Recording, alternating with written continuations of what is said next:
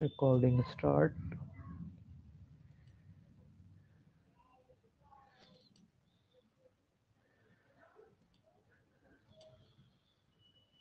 Visible है screen सबको? Yes sir ठीक है। तो पहले कुछ क्वेश्चंस करते हैं जो भी दो पिछली क्लासेस में पढ़ा है फिर आज का टॉपिक स्टार्ट करेंगे। इस क्वेश्चन को करने की कोशिश करो किसी भी मेथड से, जिससे समझ में आ रहा हो। A man bought a horse and a carriage for rupees three thousand he sold the horse at a gain of twenty percent and carriage at a loss of ten percent thereby gaining two percent on the whole find the cost of the horse question clear है? पहले तो ये देखो। क्या दिया है? एक man ने खरीदा क्या? हॉर्स और कैरेज उसका फॉर रुपीज़ थ्री थाउज़ेंड यानी पहली चीज़ हमें समझ में आ रही है। हॉर्स की कॉस्ट प्लस कैरेज की कॉस्ट मिलके कितनी है? Three thousand he sold a horse at a gain of twenty percent horse पे उसे फ़ायदा हुआ ट्वेंटी परसेंट का। और कैरेज पे उसे लॉस हुआ टेन परसेंट तो ओवरऑल हॉर्स प्लस कैरेज मिलके उसे गेन हो रहा है टू परसेंट का। ओवरऑल दोनों को उसे गेन हो रहा है टू परसेंट का। तो कॉस्ट ऑफ़ द हॉर्स पूछ रहा है, यानी ये वैल्यू पूछ रहा है, ये कितनी होगी? तो पहले जो भी क्वेश्चन में डेटा होता है उसको एक जगह ऐसी फॉर्म में लिख लो कि तुम्हें समझ में आ जाएगी अच्छा ये ये चीज़ दी है, ये ये दे रखा है, और फिर क्या पूछा है? अब उसके बाद सोचो, कैसे करें इस क्वेश्चन को?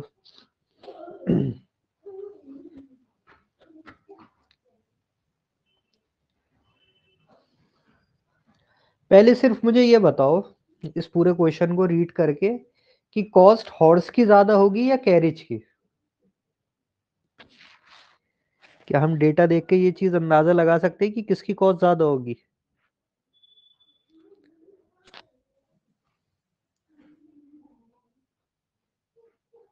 ये दोनों बराबर होंगे। सर हॉर्स की ज़्यादा होगी। हॉर्स की ज़्यादा होगी। चलो सलमान ने कहा भी हॉर्स की ज़्यादा होगी और?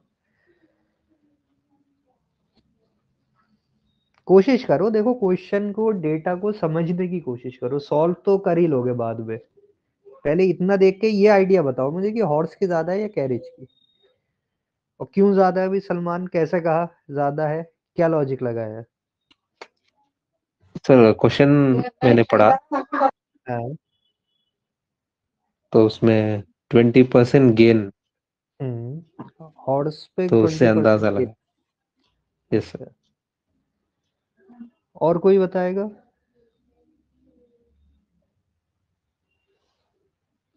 भी जब इतनी सी चीज़ पहले क्लियर नहीं होगी तो क्वेश्चन तो बाद की बात है सॉल्व करना। अब तक जो हमने इतने सारे मिक्सचर एलिगेशन सब कर लिए हैं उसी का कॉन्सेप्ट है, उसके बेस पर तुम्हें बताना है कि किसकी ज़्यादा होगी। भाई, दोनों मिलके थ्री थाउज़ेंड है। हॉर्स प्लस कैरिज मिलके थ्री थाउज़ेंड है ना।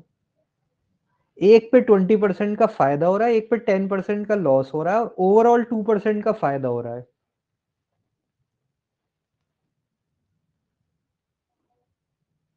कोई कोई नहीं बता पा रहा है ये चीज़। सलमान ने चलो कुछ तो ट्राई करा और ट्राई हॉर्स की ज़्यादा होगी क्योंकि सर वेटेज हॉर्स की ज़्यादा इस वजह से है क्योंकि सर गेन ज़्यादा हो रहा है। सर गेन हो रहा है और सर हॉर्स का भी गेन हो रहा है तो सर इस हिसाब से वेटेज ज़्यादा हॉर्स की होगी। यस सर सब हॉर्स की कह रहे हैं? या भी समझ में नहीं आया ये चीज़ हम अंदाज़ा नहीं लगा सकते। इसकी ज़्यादा होगी? किसकी? कैरेज की। कैरेज की ज़्यादा है कॉस्ट देखो इस पे ट्वेंटी परसेंट का फ़ायदा है इस पे टेन परसेंट का लॉस है। ओवरऑल दोनों मिलके टू परसेंट का फ़ायदा है। भाई ये ट्वेंटी परसेंट जो प्रॉफिट है इसका मतलब ट्वेंटी परसेंट का मतलब क्या है? Twenty percent of CP of horse ये टेन परसेंट जो लॉस हो रहा है, ये किसका हो रहा है? टेन परसेंट ऑफ़ कैरेज का सीपी एक पे ट्वेंटी परसेंट का फ़ायदा हो रहा है, एक पे टेन परसेंट का लॉस हो रहा है। ओवरऑल अगर मैं तुमसे ये कहता कि ओवरऑल ना तो फ़ायदा हुआ, ना तो गेन हुआ, मान लो तो तब तुम अंदाज़ा लगा सकते थे किसकी ज़्यादा होगी कॉस्ट अगर मैं कहता ओवरऑल ना तो कोई फ़ायदा ना कोई लॉस फ़ायदा ना कोई लॉस है।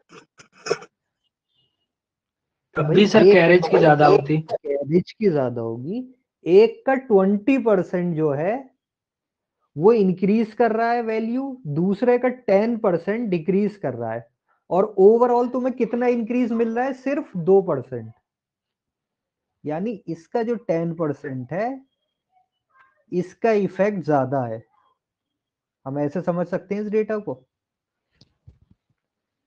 कि भाई एक का ट्वेंटी परसेंट इंक्रीज कर रहा है भाई प्रॉफिट हो रहा है। दूसरे का टेन परसेंट लॉस हो रहा है। लेकिन ओवरऑल सिर्फ़ दो परसेंट का फ़ायदा हो रहा है।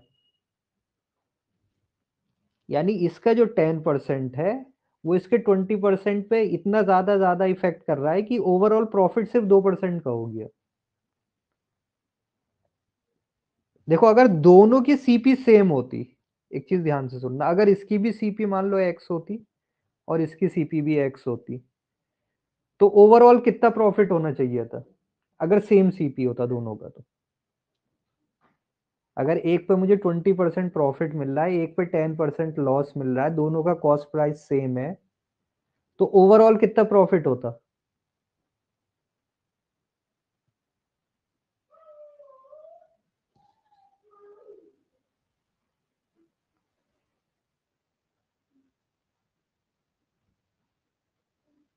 अरे हंड्रेड हंड्रेड मान के सोच लो ना।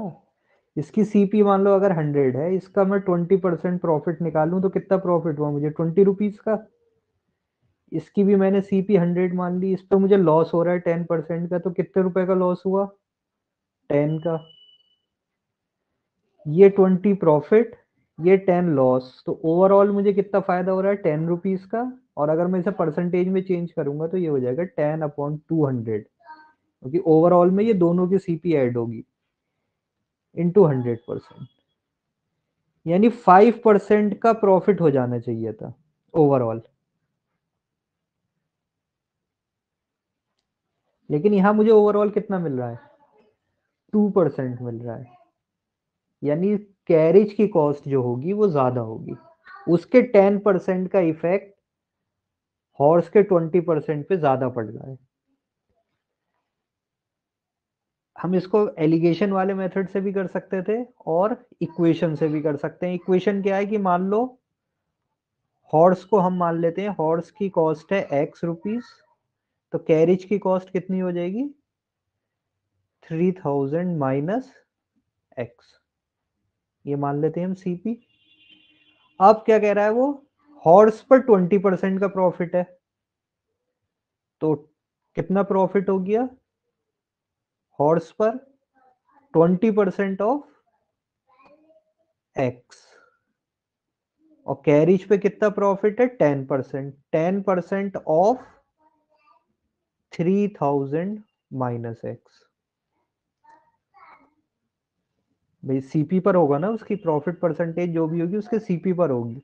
एक की हमने मान ली एक्स तो दूसरे की हो गई थ्री थाउज़ेंड माइनस एक्स दोनों मिलकर कितना प्रॉफिट दे रहा है? यानी zero point two X plus zero point one into three thousand minus X ये किसके बराबर है? ओवरऑल टू परसेंट प्रॉफिट यानी ये दोनों मिलके इक्वल हैं two percent of three thousand total overall transaction हमें पता है कितने रुपीस का है? थ्री थाउज़ेंड का। इस इक्वेशन को आप सॉल्व कर लो, x की वैल्यू आ जाएगी। हो जाएगा three hundred minus zero point one X is equal to two percent of three thousand sixty ये zero point one X is equal to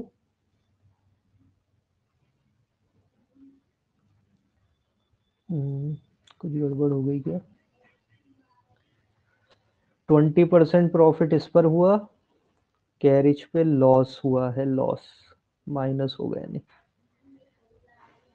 carriage पे लॉस हो रहा है तो ये हो जाएगा माइनस और ये हो जाएगा प्लस। तो ये हो गया zero point three X is equal to three sixty. तो x की वैल्यू हो जाएगी 1200 यानी आंसर क्या आ रहा है इसका? 1200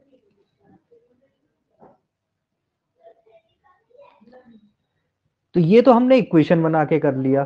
दूसरा, जिस कॉन्सेप्ट से मैं तुम्हें समझाने की कोशिश कर रहा था कि कैसे हम अंदाज़ा लगा सकते थे कि किसकी वैल्यू ज़्यादा है, वो है एलिगेशन वाला मेथड मिक्सचर एंड एलिगेशन में जो हमने लगाया था। हम उसको यहाँ लगा सकते हैं। एक तरफ़ ले लेते हैं हॉर्स एक तरफ़ ले लेते हैं कैरिज इसका कॉस्ट हमें नहीं पता है. एक्स मान लेते हैं, इसकी कॉस्ट मान लेते हैं थ्री थाउज़ेंड माइनस एक्स जब ये एक्स है तो इसकी कॉस्ट हो जाएगी ये. ये सीपी आ गई इनकी. इस पर कितना प्रॉफिट हो रहा है? हॉर्स पर? ट्वेंटी परसेंट प्लस और कैरिज पे क्या हो रहा है? लॉस हो रहा है टेन परसेंट का। माइनस टेन परसेंट ओवरऑल क्या हो रहा है? टू परसेंट का प्रॉफिट हो रहा है। यही तो हो रहा है? इस फॉर्म में आ जाएगा ये? बैलेंसिंग द स्केल और सारे जो मेथड पढ़े थे। तो क्या निकाल सकते थे तुम इससे? ये डिस्टेंस कितना हो जाएगा? ट्वेंटी माइनस टू यानी कि एटीन ये वैल्यू कितनी हो जाएगी? ट्वेल्व। Twelve good. हम सिर्फ़ डिस्टेंस लेंगे प्लस माइनस से डिस्टेंस में नहीं मतलब होता तो ये हो जाएगा ट्वेल्व। तो किस रेशियो में आ गया ये डिस्टेंस? थ्री टू टू के रेशियो में? यानी इनकी जो सीपी होगी ये किस रेशो में होगी? Two to three. Two is to three के रेशो में? तो हमें पता चल गया हॉर्स और कैरिज का जो कॉस्ट प्राइस का रेशो है वो कितना है? To is to three. और टोटल कितना है? Three thousand. और हमें निकालना क्या है? हॉर्स। तो हम लिख सकते हैं horse is two out of five parts. और जब टोटल थ्री थाउज़ेंड है, कितना आ जाएगी हॉर्स की सीपी ट्वेल्व हंड्रेड आ गया ट्वेल्व हंड्रेड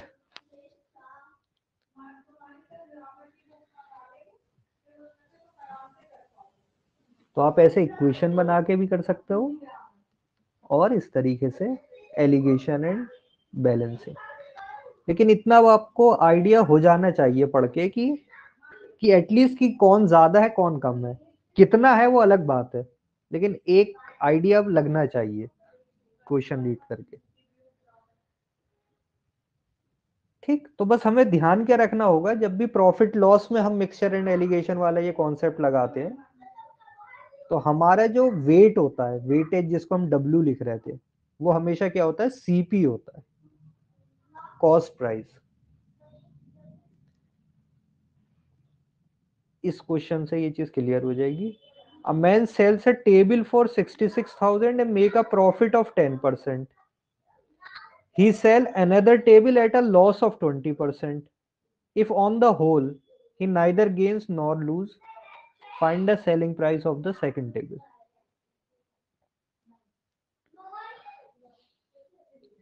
दो टेबल हैं, एक की सेलिंग प्राइस है सिक्सटी सिक्स थाउज़ेंड और उस पर क्या हो रहा है? प्रॉफिट हो रहा है। नहीं, मैं ऐसे लिख देता हूँ सीधे। दस परसेंट का। दूसरी टेबल है, उसका हमें सेलिंग प्राइस नहीं पता। नहीं पता इसका अननोन है। और इस पे क्या हो रहा है? लॉस हो रहा है ट्वेंटी परसेंट ओवरऑल क्या हो रहा है? No profit no loss overall इस पूरे ट्रांजेक्शन में ना तो उसे प्रॉफिट हुआ ना तो लॉस हुआ। तो क्या तुम इसके सेलिंग प्राइस का अंदाज़ा लगा सकते हो कि ये सिक्सटी थाउज़ेंड से ज़्यादा होगा कम होगा कितना होगा?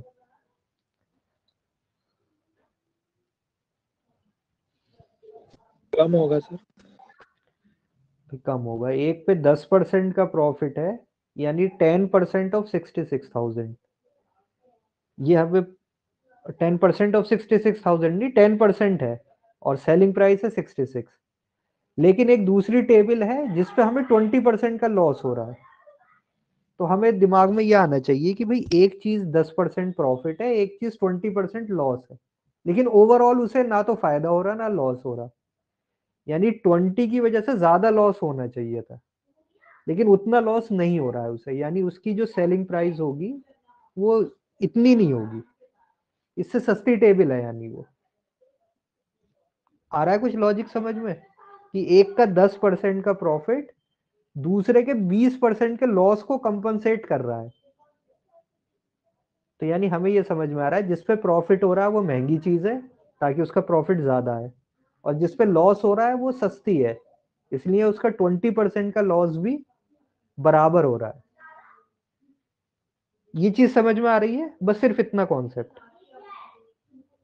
तो क्वेश्चन देखिए sir. कि दस परसेंट का प्रॉफिट बीस परसेंट का लॉस बराबर हो रहा है तो जिसपे प्रॉफिट हो रहा है वो महँगी चीज़ है, उसकी कॉस्ट ज़्यादा है, और जिसपे लॉस हो रहा है वो सस्ती चीज़ इसका उल्टा केस होता कि दस परसेंट का लॉस और किसी का बीस परसेंट का प्रॉफिट बराबर होता।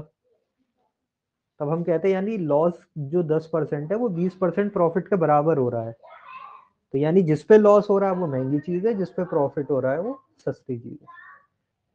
इतना दिमाग में आना चाहिए। बाद क्वेश्चन सॉल्व करना वो अलग चीज़ है, लेकिन क्वेश्चन रीड करके दिमाग में इतना आ जाना चाहिए। अब हमें निकालना है सेलिंग प्राइस तो एक तरीका तो वही इक्वेशन बना के कर लो आप। लेकिन हम इसे सीधे बैलेंसिंग वाले मेथड से कर रहे हैं। तो कोई मुझे ये बताए कि क्या मैं इसको बैलेंसिंग को ऐसे कर सकता हूँ? Profit of ten percent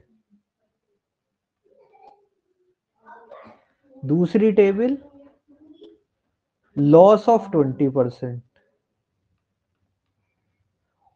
overall क्या हो रहा है? ज़ीरो ना प्रॉफिट ना लॉस क्लियर तो इसका डिस्टेंस कितना होगा यहाँ से यहाँ तक?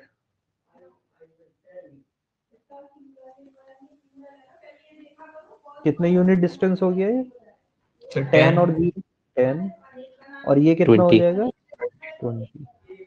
यानी किस रेशो में है ये distance? One is to two one is to two तो इनका जो ये वेटेज होगा ये किस रेशो में होगा?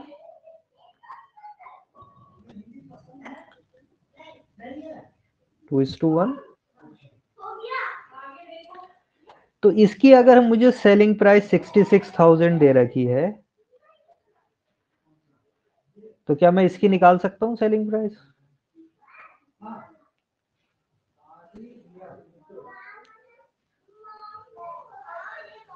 भाई T one is to T two इसका रेशियो मुझे पता चल गया टू इज़ टू वन अगर मैं टी वन को ये सिक्सटी सिक्स थाउज़ेंड ले लू तो ये मैं बता सकता हूँ कितना होगा? रेशियो वन का डबल है इधर। या फिर हम कह थर्टी सकते थ्री हैं थाउज़ेंड इसका हाफ़ है। थर्टी थ्री थाउज़ेंड लेकिन थर्टी थ्री थाउज़ेंड तो ऑप्शन में भी नहीं है। तो क्या गलती कर रहे हैं हम इसमें?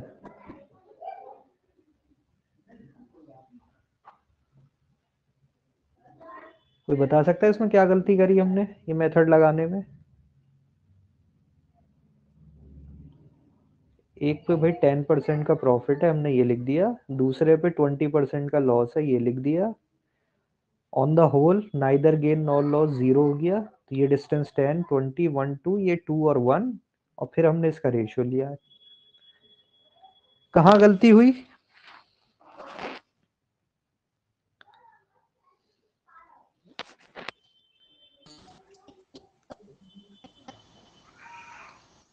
हेलो मुझे आवाज़ नहीं आई। किसी ने कुछ बताया? क्या गलती हुई है?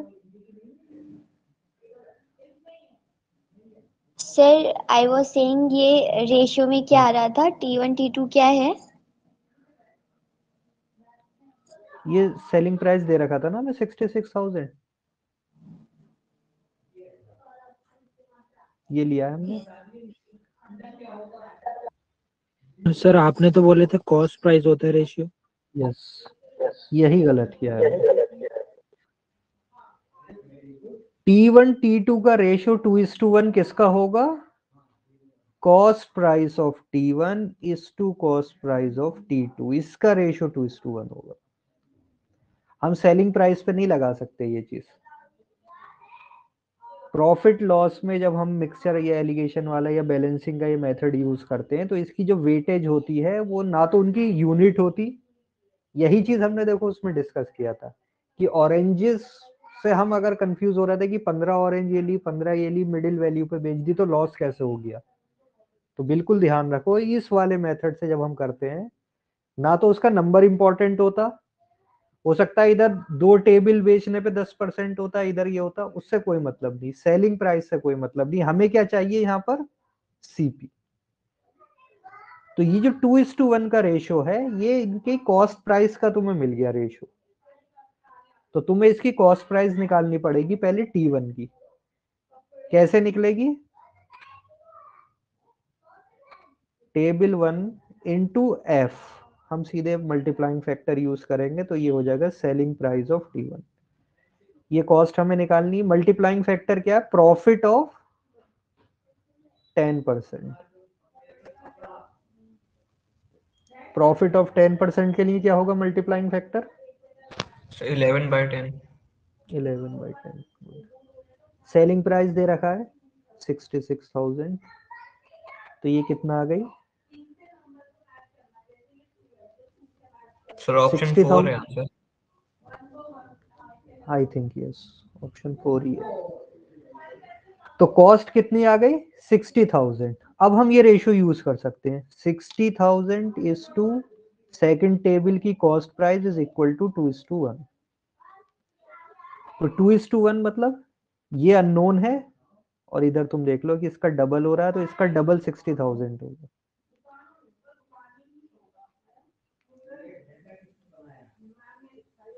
अब इतना ऐसे करके की जगह सीधे रेशो को देख के दिमाग से आइडिया लगा ले करो, क्या होगा? सीपी इधर जाएगा टू इधर आ जाएगा, sixty by two, thirty thousand.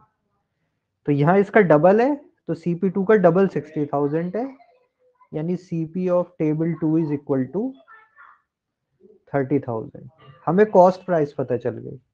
अब जब कॉस्ट प्राइस पता चल गई तो हमें पूछा क्या है उसने? सेलिंग प्राइस और सेकंड टेबल पे क्या हो रहा है? लॉस हो रहा है ट्वेंटी परसेंट का।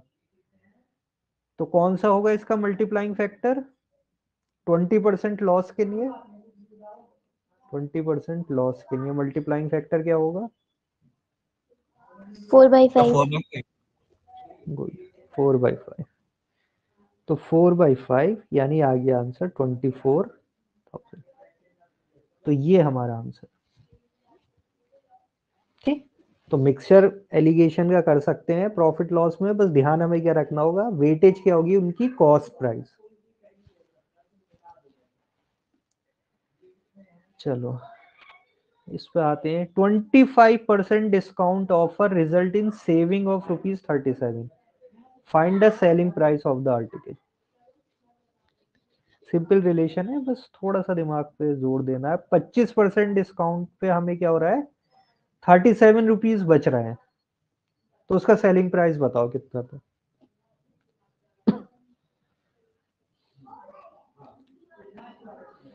तो हम एक बार फिर से वही बना ले। ये याद रखना चाहिए। सबसे बेस होता है कॉस्ट प्राइस इसके बाद आता है मार्कअप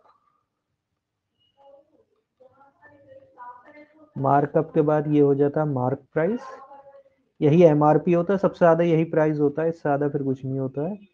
एंड देन डिस्काउंट उस पर हम कुछ डिस्काउंट देते हैं।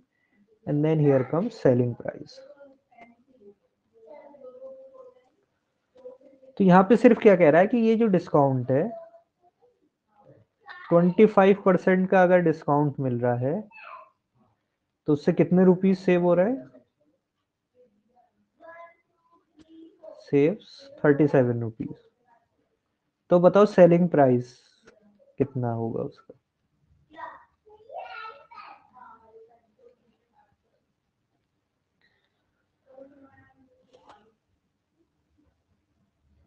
तो डिस्काउंट डिस्काउंट किस पर होता है?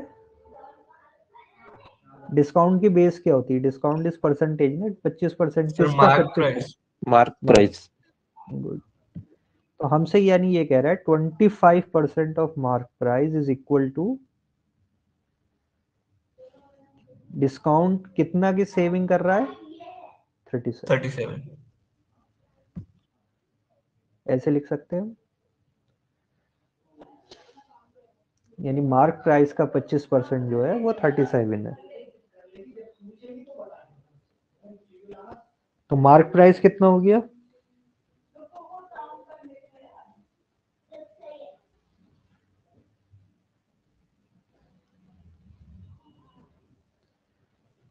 मार्क प्राइस कितना हो जाएगा? वन फोर्टी एट ठीक है देखो जब तक कैलकुलेट करने की ज़रूरत ना पड़े ना तो उसे कैलकुलेट मत करो। पच्चीस परसेंट वन अपॉन फोर बन रहा है ये फोर इंटू थर्टी सेवन तो बस ऐसे ही बोलो कि थर्टी सेवन इंटू फोर नहीं निकालो वैल्यू एमपी नहीं Okay. पूछा ना कहीं भी. जब तक नहीं पूछा हो तो अगर कहीं मल्टीप्लाइंग फैक्टर या कुछ है ऐसे तो उसको ऐसे ही रहने दो. हो सकता है आगे जाके कहीं कैंसिल हो जाए. तो मार्क प्राइस हो गया ये. अब आपसे पूछा क्या है? सेलिंग प्राइस तो सेलिंग प्राइस और मार्क प्राइस में क्या रिलेशन होती है?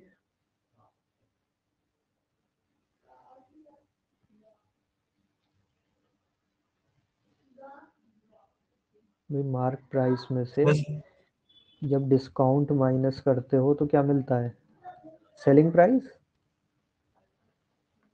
मार्क प्राइस में से डिस्काउंट माइनस करोगे तो सेलिंग प्राइस आएगा ना। Yes sir. तो ये हो गया थर्टी सेवन इंटू फोर और डिस्काउंट हो गया थर्टी सेवन ये इक्वल टू सेलिंग प्राइस यानी thirty seven into three selling price is this अब निकाल लो वैल्यू क्योंकि ये पूछा है तुमसे। वन वन वन ये आ गया आंसर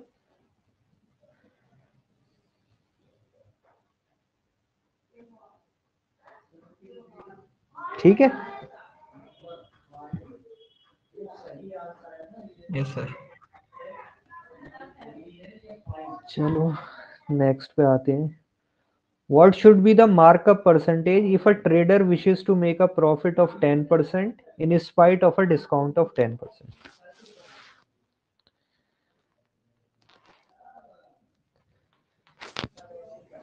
अभी जो कॉन्सेप्ट पड़ा उसी के ऊपर है कि सीपी है। सीपी को वो कितना परसेंट मार्कअप करे? मार्कअप ये होता है इंक्रीज कॉस्ट प्राइस को इंक्रीज करके जो हम बना देते हैं M P this is known as markup तो पूछ रहा है, इसको कितना परसेंट मार्कअप करें? कॉस्ट प्राइस को कितने परसेंट बढ़ाएँ हम? कि हमारा ऐसा मार्क प्राइस मिले कि अगर हम टेन परसेंट का डिस्काउंट भी दें टेन परसेंट डिस्काउंट भी दे दें, तब भी क्या हो? टेन परसेंट का प्रॉफिट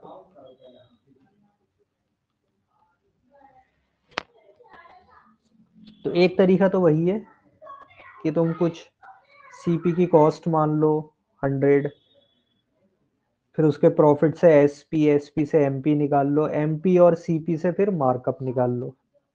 लेकिन ये सब लेंदी प्रोसेस है। इसके लिए हमने क्या पढ़ा था? एक शॉर्टकट पढ़ा था।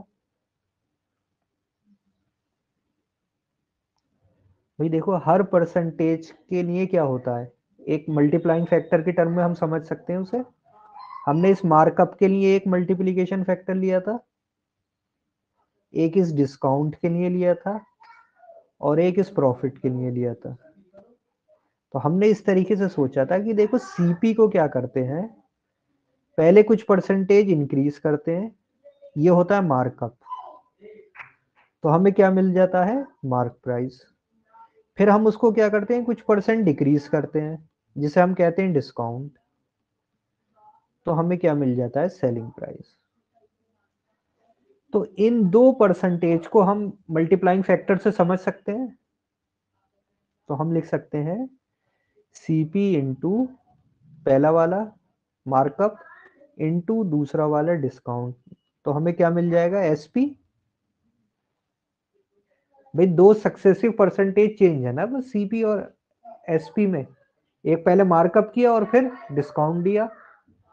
ये आ जाएगी रिलेशन और एक रिलेशन हम पढ़ते ही हैं कि भाई प्रॉफिट को सीधे एसपी से रिलेट कर सकते हैं। तो इन दोनों इक्वेशन से हमें क्या मिल रहा है? इट इज़ इक्वल टू इन दोनों की मल्टीप्लाई के बराबर। इस टाइप के क्वेश्चन करने का ये सबसे फास्ट मेथड है, जिसमें कुछ मार्कअप प्रॉफिट और डिस्काउंट इसके बीच में परसेंटेज कुछ चेंज होते हैं। कि इतने प्रॉफिट हो तो कितना डिस्काउंट हो जाएगा, या इतना मार्कअप या इतना डिस्काउंट है तो कितना प्रॉफिट है, या फिर इतना प्रॉफिट है, इतना मार्कअप है तो कितना डिस्काउंट है। सबसे फास्ट यही है। ये तीन रिलेशन आ गई। अब देख लो क्वेश्चन में क्या पूछा है? मार्कअप परसेंटेज मार्कअप परसेंटेज कौन सा मल्टीप्लाइंग फैक्टर से आएगी? इस वाले से। तो बाकी दो तुम्हें गिवन होंगे। प्रॉफिट ऑफ़ टेन परसेंट यानी ये प्रॉफिट तो टेन परसेंट के लिए क्या होगा multiplication factor eleven by ten eleven by ten ये तो हमें निकालना है इससे हमें परसेंटेज पता चलेगी। और डिस्काउंट क्या है? टेन परसेंट डिस्काउंट तो डिस्काउंट मतलब क्या होता है? डिक्रीज वाला। Ten percent decrease. तो डिक्रीज के लिए क्या होगा multiplication factor? Nine by ten. Ten से ten cancel. Multiplication factor for markup कितना आ गया? Eleven by nine. यानी कितने परसेंटेज मार्कअप हो रहा होगा? अगर इलेवन बाई नाइन है तो कितने परसेंट मार्कअप हो रहा है?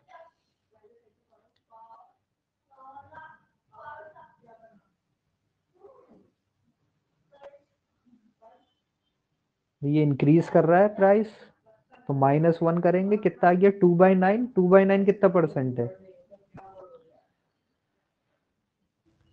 Sir twenty three point two two twenty two point two two sir sir twenty two sorry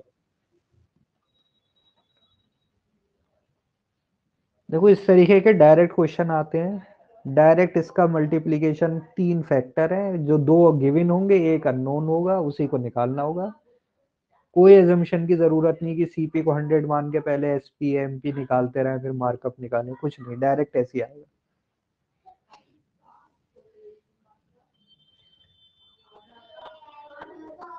चलो, अगले क्वेश्चन पे आते हैं। 25 परसेंट एक्स्ट्रा क्वांटिटी ये अच्छा क्वेश्चन है। 25% extra quantity of a commodity for the same price is equivalent to the discount of what percentage? पहले तो क्वेश्चन आराम से पढ़ो। क्वेश्चन जीमेट वगैरह का क्वेश्चन है बट बहुत अच्छा क्वेश्चन है। क्या कह रहा है ये? 25 परसेंट एक्स्ट्रा क्वांटिटी जैसे आता है ना कि सैशे होते हैं कि भाई इस पे 25 परसेंट एक्स्ट्रा दे रहे हैं। ये 100 ग्राम का है, इसके साथ 25 ग्राम फ्री है। प्राइस वही रखा। तो अगर कहीं ये ऑफ़र दिया जा रहा है तो ये कितने परसेंट डिस्काउंट के बराबर है?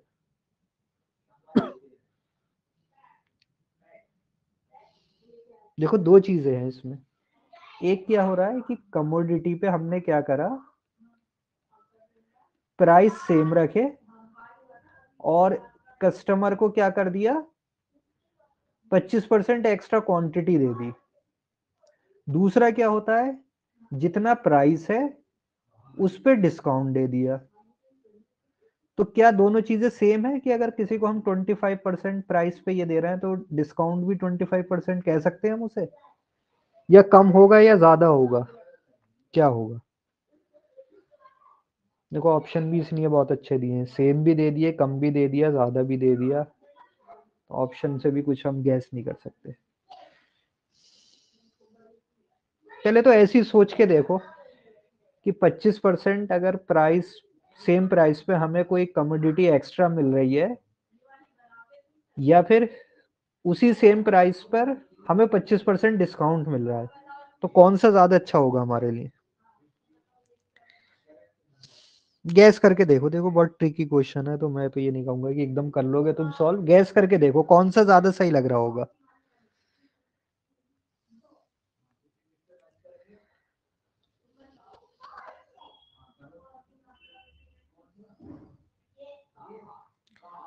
कौन सा ज़्यादा अच्छा वाला ज़्यादा बेटर है। से डिस्काउंट वाला डिस्काउंट वाला ज़्यादा बेटर है। यस अब देखो, ऐसे क्वेश्चन में क्या कर सकते हो? एजम्पशन से कर लो।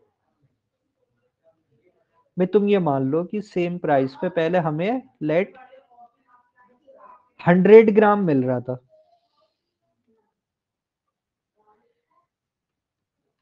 किसी प्राइस पर हमें मान लो एक्स रुपीस पे हमें क्या मिल रहे थे? हंड्रेड ग्राम अब तुम्हें पच्चीस परसेंट क्या मिल रहा है? एक्स्ट्रा एक्स्ट्रा पच्चीस परसेंट मिल रहा है? यानी अब एक्स रुपीज़ में तुम्हें कितना मिल रहा है? हंड्रेड तो था ही पहले प्लस पच्चीस परसेंट ऑफ़ हंड्रेड यानी पच्चीस। यानी अब एक्स रुपीज़ में कितना मिल रहा है? One twenty five gram. Clear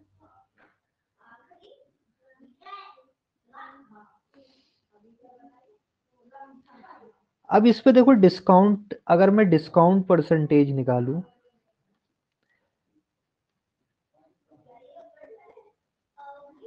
discount तुम्हें कितना मिला?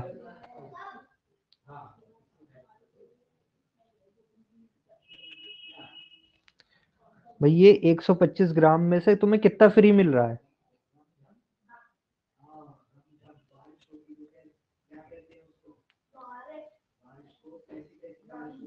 तो ट्वेंटी फाइव ग्राम फ्री मिल रहा है। हमें डिस्काउंट मिल रहा है एक्चुअल में इतना। कितना आ गया ये? ट्वेंटी परसेंट यानी पच्चीस परसेंट अगर कोई कमोडिटी में हमें दे रहा है एक्स्ट्रा तो वो डिस्काउंट में इक्वलेंट है किसके? Twenty percent.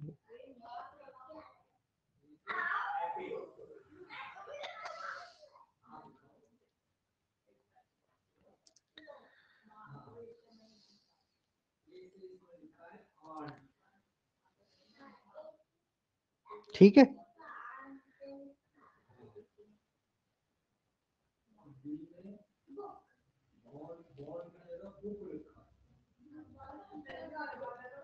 यानी कि अगर कहीं भी दो ऑफ़र मिल रहे हैं, जिसमें कि एक में 25 परसेंट हमें कोई क्वांटिटी एक्स्ट्रा मिल रही है और एक जगह डिस्काउंट मिल रहा है तो हमारे लिए प्रिफरेबल क्या है? डिस्काउंट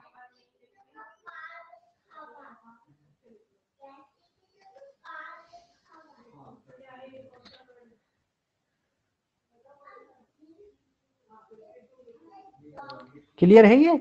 या भी नहीं हुआ। सर ये डिस्काउंट? वाला पार्ट एक बार समझा दीजिए सर 25 अपॉन 125 अच्छा। चलो ऐसे समझ लो। मान लो हमें सौ रुपए में कोई कमोडिटी है जो सौ ग्राम मिल रही थी। ठीक है? सौ रुपए में सौ ग्राम। अब हमें क्या करा? ट्वेंटी फाइव परसेंट उसने एक्स्ट्रा दे दिया। पच्चीस परसेंट दिया है ना? तो पच्चीस परसेंट का मतलब कितना हो गया? हंड्रेड ग्राम में कितना एक्स्ट्रा मिल गया हमें? 25 ग्राम। ट्वेंटी फाइव ग्राम। यानी अब सौ रुपए में क्या मिल रहा है? One twenty five gram. ठीक है? अगर ये कि- उसको सेल कर रहा होता तो 125 ग्राम कितने के सेल करता? भाई 100 ग्राम सौ रुपए का था तो 125 ग्राम कितने का होता? 125 रुपीस का 125 होता। लेकिन वो तुम्हें दे कितने में रहा है? 100 हंड्रेड में ही दे रहा है ना वन ट्वेंटी फाइव ग्राम। तो कितने परसेंट का हमें डिस्काउंट मिला? कितने रुपीस का डिस्काउंट मिला? Twenty five. Twenty five. जबकि वो था कितने का पैक? वन ट्वेंटी फाइव का। तो डिस्काउंट कितना हो गया ये? Twenty percent. Clear?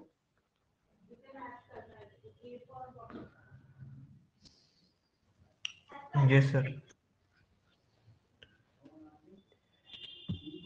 चलो नेक्स्ट पे आते हैं। देखो इसमें और भी क्लियर हो जाएगी ये चीज़। I scheme of one soap free with every four soap purchase is launch for increasing the sale What is the effective discount that the scheme offer? अगर कहीं ऐसा ऑफ़र है कि चार साबुन खरीदने पे एक साबुन फ्री तो इसको हम कितना परसेंट डिस्काउंट मानेंगे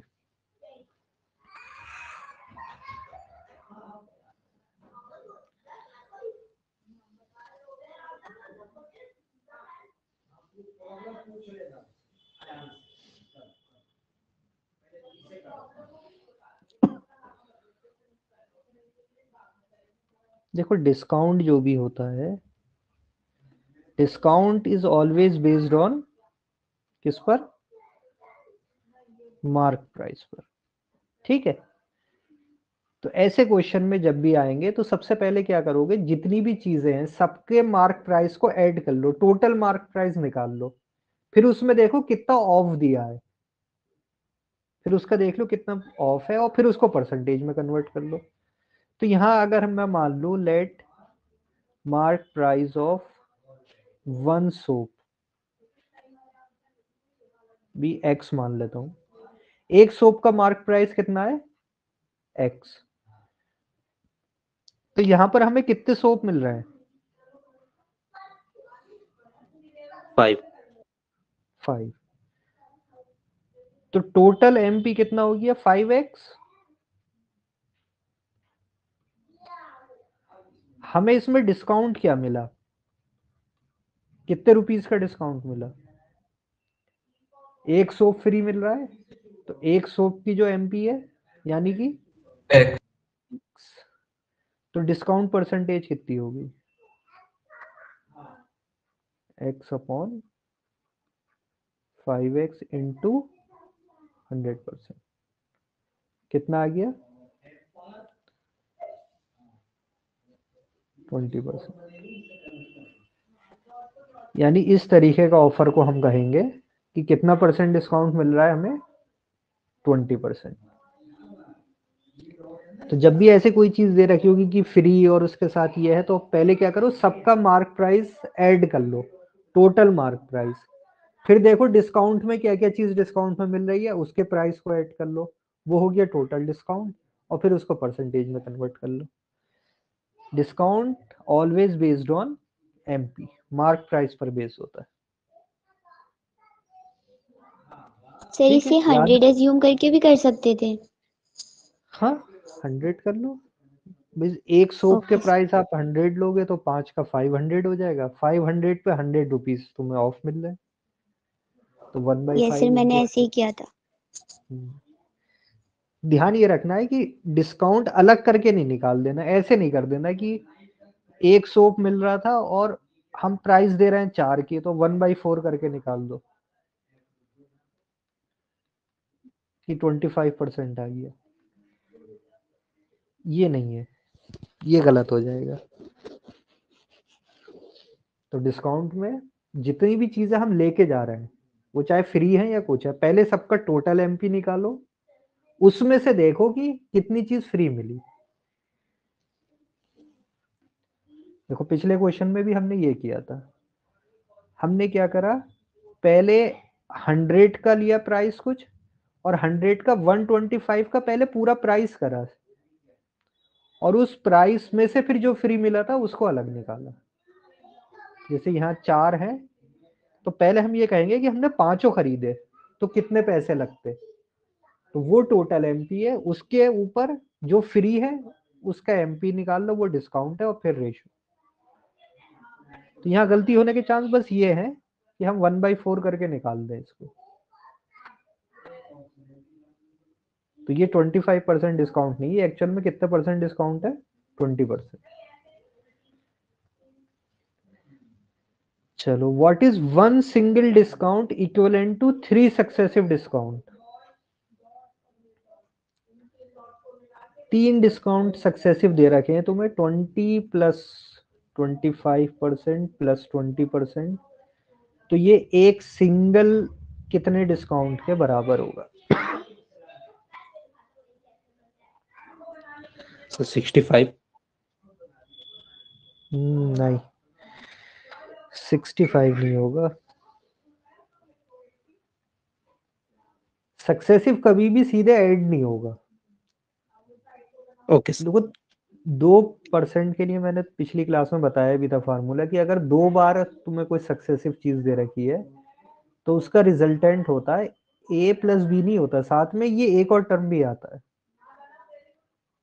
इतने परसेंट होता है। अगर किसी चीज़ को हम सक्सेसिव ए और बी परसेंट से चेंज कर रहे हैं तो कभी भी डायरेक्ट सम नहीं होगा। उसके साथ कुछ ना कुछ ये फैक्टर आएगा। लेकिन Okay, यहाँ पर क्या है? तीन है। तो तीन के लिए तो अब ये फार्मूला नहीं लगा सकते। इसको करने का तरीका फिर क्या करेंगे हम? मल्टीप्लीकेशन फैक्टर से कर सकते हैं। हम्म। तो ट्वेंटी परसेंट डिस्काउंट है यानी डिक्रीज तो ट्वेंटी परसेंट डिक्रीज के लिए क्या हो जाएगा? क्या होगा multiplication factor four by five four by five. Twenty पर फाइव परसेंट डिक्रीज के लिए हो जाएगा। Sir option C. अभी देख लेते ये हैं। होगा think. ये हो गया three by four. Twenty five percent one by four one minus yes. फिर ट्वेंटी परसेंट है यानी कि फोर बाई फाइव। तो उनका कंबाइन इफ़ेक्ट इनकी मल्टीप्लाई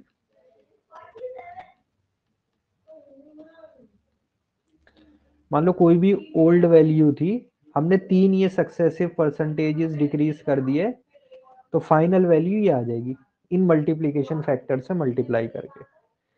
तो फोर से फोर कैंसिल तो ये आ गया ओल्ड वैल्यू को अगर हम मल्टीप्लाई कर दें ट्वेल्व अपॉन ट्वेंटी फाइव से तो हमें फाइनल वैल्यू मिल जाएगी।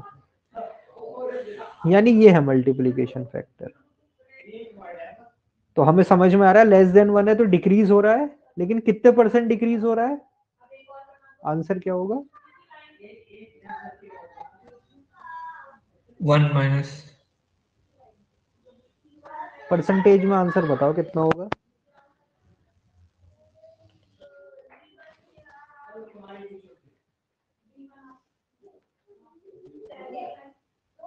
किसी को अगर 12 बाई ट्वेंटी फाइव से कर रहे हैं तो कितना परसेंट डिक्रीज हो जाएगा वो?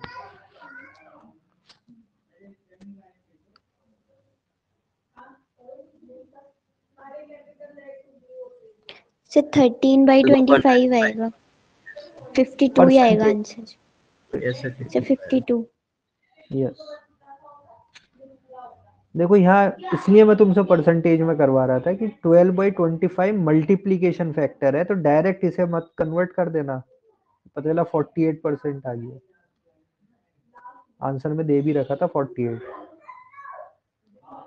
मल्टीप्लीकेशन फैक्टर क्योंकि डिक्रीजिंग है तो हम इसमें से वन में से माइनस करते हैं। ये हमें मिला 13 बाई ट्वेंटी इसको हम परसेंटेज में कन्वर्ट करते हैं। 52 परसेंट ये कोई ऐसी फॉर्म नहीं थी जो हमें डायरेक्ट याद हो टेबल से तो 100 से मल्टीप्लाई करके हमें पता चल गया 52 परसेंट यानी 20 percent plus twenty five plus twenty percent effectively कितना परसेंट का डिस्काउंट है? 52 परसेंट तो एक तरीका ये है करने का, दूसरा तरीका क्या है कि जो हम इस ओल्ड वैल्यू को कह रहे हैं, इसको मान लेते हैं हंड्रेड हंड्रेड में तीन सक्सेसिव परसेंटेज डिक्रीज है, वो हम निकाल लेंगे तो हम आंसर बता सकते हैं कि क्या होगा, यहाँ फाइनल क्या आएगा। देखो सक्सेसिव परसेंटेज डिक्रीज या इंक्रीज में ऑर्डर इंपॉर्टेंट नहीं है। याद है हमने ये पढ़ा था ऑर्डर इंपॉर्टेंट नहीं होता? आप किसी भी, पहले किसी भी इन तीन में से कोई परसेंटेज पहले लिख सकते हो, कोई सी बाद में लिख सकते हो। यहाँ से भी समझ सकते हो कि भाई मल्टीप्लीकेशन फैक्टर की मल्टीप्लाई है आप पहले थ्री बाई फोर लिख लो, फिर फोर बाई फाइव लिख दो, उससे कोई फ़र्क नहीं पड़ेगा। तो हम क्या कर सकते हैं, जब पहली वैल्यू होती है नॉर्मली हम सबसे बड़ी वैल्यू लेते हैं, ताकि वो हंड्रेड पे यूज़ हो जाए, बाकी फिर छोटी परसेंटेजेस बचे। तो मैं ऐसे लिख सकता हूँ कि हंड्रेड को पहले ट्वेंटी फाइव परसेंट डिक्रीज किया उसके बाद जो वैल्यू आई उसे ट्वेंटी परसेंट किया और उसके बाद जो वैल्यू आई उसे ट्वेंटी परसेंट डिक्रीज किया। तो बताओ हंड्रेड में से ट्वेंटी फाइव परसेंट डिक्रीज करेंगे तो क्या आएगा?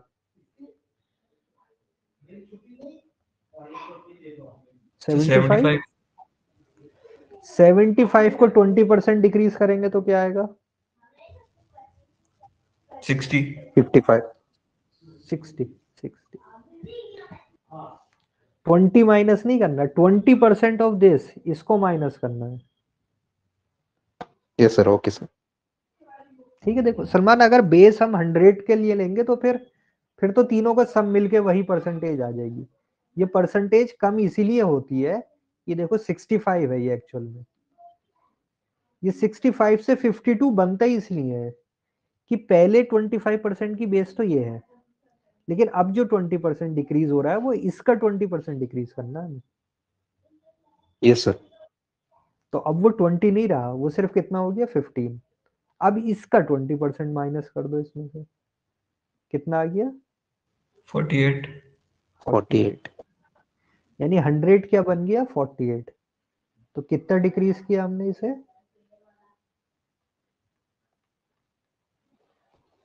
फिफ्टी टू परसेंट तो ये तीन सक्सेसिव डिस्काउंट जो है वो इक्विवेलेंट है एक 52 परसेंट डिस्काउंट ठीक तो हम इस तरीके से भी कर सकते हैं वरना मल्टीप्लीकेशन फैक्टर सबसे बढ़िया है उसी से आदत डालो करने की A owns a bike worth 40,000. He sell it to B at a profit of 10%.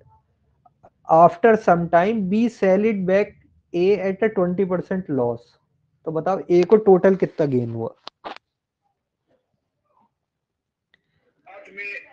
तो क्वेश्चन में क्या दिया है?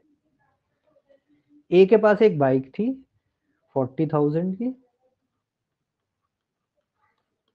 उसने क्या करा? बी को सेल कर दी। कितने प्रॉफिट पे? टेन परसेंट पर। कुछ दिन बाद क्या हुआ? बी ने ए को वापस बेच दी but loss of twenty percent तो बताओ ए को कितना परसेंट फ़ायदा हुआ? देखो ए को दोनों ट्रांजैक्शन में फ़ायदा हुआ, पहले में भी और दूसरे में भी। तो टोटल ए को कितना फ़ायदा हो रहा है? देखो टोटल ए की परसेंटेज हम ऐसे नहीं कर सकते।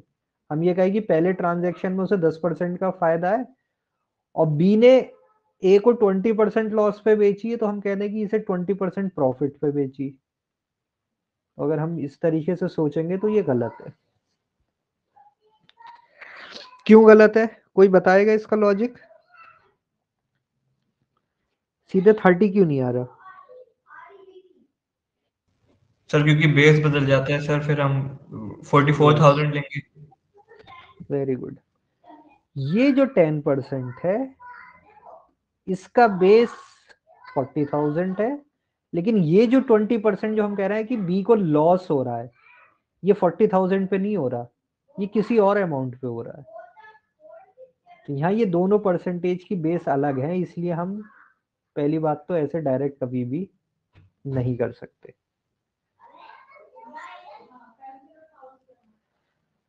तो क्या करें ऐसे क्वेश्चन में? Forty thousand ten percent profit के बाद कितनी हो जाएगी? बी को कितने में मिली बाइक? चालीस हज़ार की बाइक दस परसेंट प्रॉफिट पे बेची तो क्या हो गया? बी को कितने में मिली वो? Sir forty four thousand.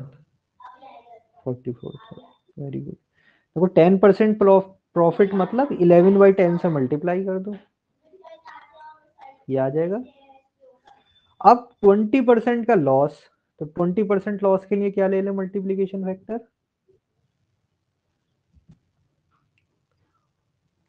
four by five four five by five तो फोर बाई फाइव किससे मल्टीप्लाई करके देखो क्या आ रहा है? देखो फाइव से डिवाइड करना है। फाइव से डिवाइड का मतलब है डबल करो और एक ज़ीरो कम कर दो यानी eighty eight hundred eighty eight hundred into four तो दो ज़ीरो तो आएँगे लास्ट में। एट्टी एट इंटू फोर मतलब एट्टी एट का डबल वन सेवेंटी सिक्स और उसका डबल वन सेवेंटी सिक्स का double forty two sorry one seventy six का double three fifty two. Thirty five thousand two hundred three fifty two अब इस पूरे transaction में हमें तीनों कॉस्ट पता चल गई। ए ने जितनी की बाइक थी क्वेश्चन में दिया था, फिर बी को उसने बेची चवालीस हज़ार की फोर्टी फोर थाउज़ेंड की, और बी ने ए को फिर वापस thirty five thousand two hundred की। तो इसमें ए को कितने परसेंट का प्रॉफिट हुआ?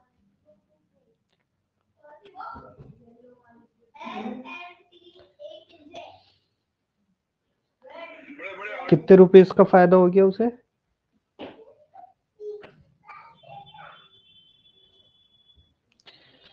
इस ट्रांजैक्शन में कितना फ़ायदा हुआ? ए को इस 4,000 ट्रांजैक्शन में फोर थाउज़ेंड का? इस ट्रांजैक्शन में कितना फ़ायदा हुआ? Sir four thousand eight hundred four thousand या एट? सर बी से ए में वापस जाने में। हाँ बी से ए में कह रहा हूँ अभी। Yes sir yes sir eight thousand eight hundred ठीक। अब देखो हमें निकालना है ए को कितना परसेंट फ़ायदा हुआ। तो हमें पता है परसेंटेज का क्या होता है? टोटल जो प्रॉफिट हुआ divide by CP into hundred percent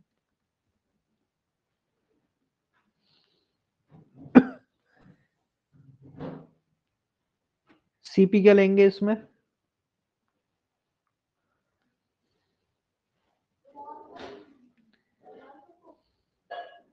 और प्रॉफिट कितना लेंगे? दोनों वैल्यूज़ बताओ, जरा क्या होगी?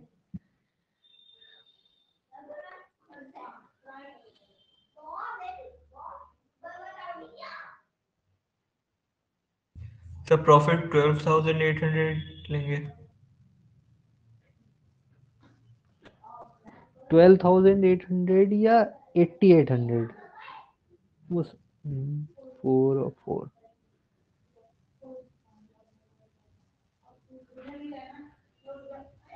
बेस तो फोर्टी थाउज़ेंड होगा? ये तो क्लियर है? यस सर देखो ए ने बी को बेची और बी ने फिर वापस ए को।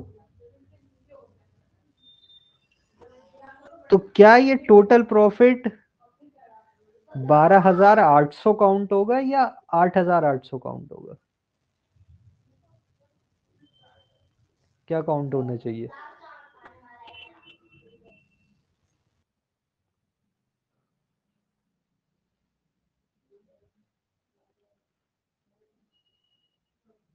क्या काउंट होना चाहिए? twelve thousand eight hundred. Twelve thousand eight hundred देखो, ये जो बाइक थी ओरिजिनली किसकी थी? ए की थी ना? ए ने बी को बेची और उसने चार हज़ार का प्रॉफिट ले लिया। चार हज़ार उसके पास आ गए। अब जब बी उसे बीस परसेंट के लॉस पे बेच रहा है, बीस परसेंट के लॉस पे बेच रहा है। यानी वो उसे कितने की खरीद रहा है? Thirty five thousand two hundred की। तो फोर्टी फोर थाउज़ेंड के रेफरेंस से करेगा ए या अपने जो चालीस हज़ार की बाइक थी उसी के हिसाब से करेगा? प्रॉफिट कैसे निकालेगा?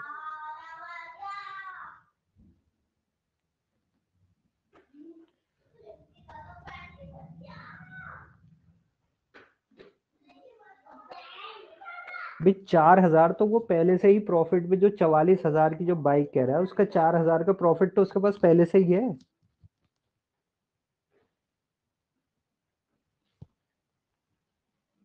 जब उसने उसी बाइक को पैंतीस हज़ार दो सौ में खरीदा तो वो उसको कितने का फ़ायदा हुआ?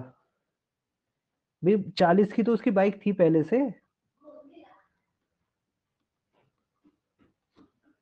वो क्या कहेगा कि मुझे कितने का फ़ायदा हुआ?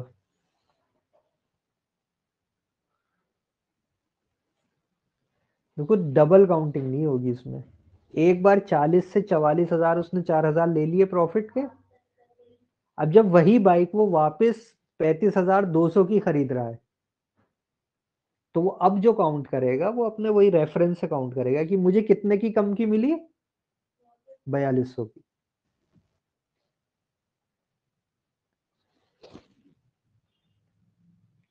भी तुम इस तरीके से सोचो कि तुम्हारे पास कोई चीज़ है, तुमने किसी को बेची हो।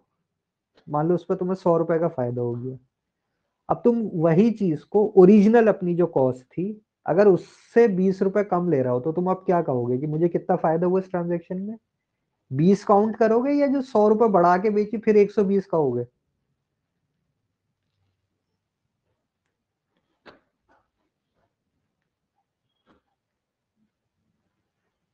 अगर ये चीज़ ए टू बी जाती और बी टू सी जाती तब हम ऐसे काउंट करते। लेकिन ये चीज़ वापस उसी के पास आ रही है। तो अब उसके लिए जो रेफरेंस रहेगा वो उसकी पहले वाली ही कॉस्ट रहेगी। क्योंकि तो उसका प्रॉफिट तो वो पहले ही ले चुका है ना। ओके सर भाई उसी की चीज़ घूम के वापस उसी के पास आई है। अगर इस क्वेश्चन में ए टू बी और बी टू सी होता तो फिर अलग चीज़ हो जाती। क्लियर हो रहा है पॉइंट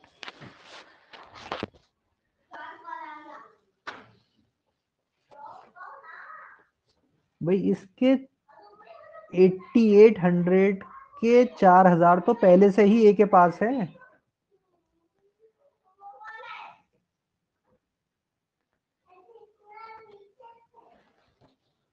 अब जो प्रॉफिट कम हो रहा है, वो सिर्फ़ उसके जो चालीस हज़ार जो उसकी रेफरेंस प्राइस थी, जो बेस प्राइस थी, जितना एक खरीद रहा था उसे, जो ए ने लिया था मतलब मान लो चालीस हज़ार की बाइक ली, उसने बी को बेचा तो चार हज़ार का प्रॉफिट मिला।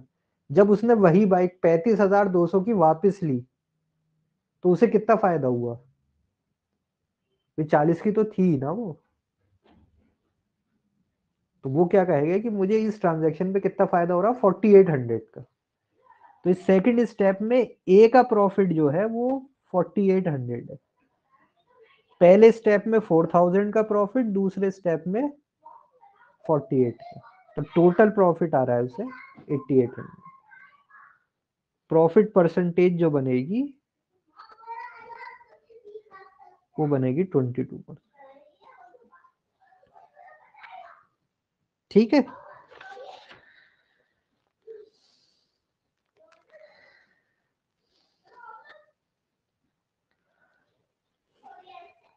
इसको देखो परसेंटेज चेंज से तुम सोच सकते थे। पहला जो ट्रांजैक्शन है ए टू बी जब उसने सेल किया तो कितने परसेंट का प्रॉफिट हुआ? टेन परसेंट तो हम यहाँ लिख सकते हैं ए को कितना प्रॉफिट हो गया? टेन परसेंट जो दूसरा ट्रांजेक्शन है, उसको देखो इस तरीके से सोचो कि ए पहले तो टेन परसेंट इंक्रीज करके दे रहा है बी को, और फिर ट्वेंटी परसेंट डिक्रीज के बाद वो खुद ले रहा है। ठीक है? तो ये सक्सेसिव परसेंटेज चेंज है। देखो, एक प्लस में है और एक माइनस में है। तो किसी को अगर हम टेन परसेंट इंक्रीज करके फिर ट्वेंटी परसेंट डिक्रीज कर दे तो इफेक्टिवली कितना हो जाएगा वो?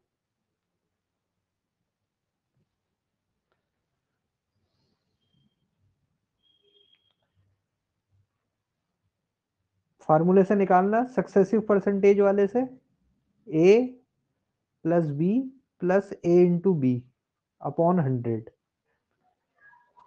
A पहले है टेन परसेंट का इंक्रीज और फिर डिक्रीज है ट्वेंटी परसेंट का। बताना ये इफेक्टिवली कितना परसेंट डिक्रीज हो रहा है?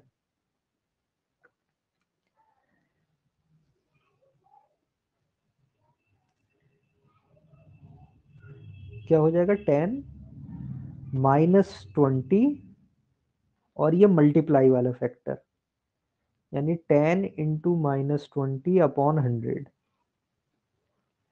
तो ये आ गया ten minus twenty minus two minus twelve.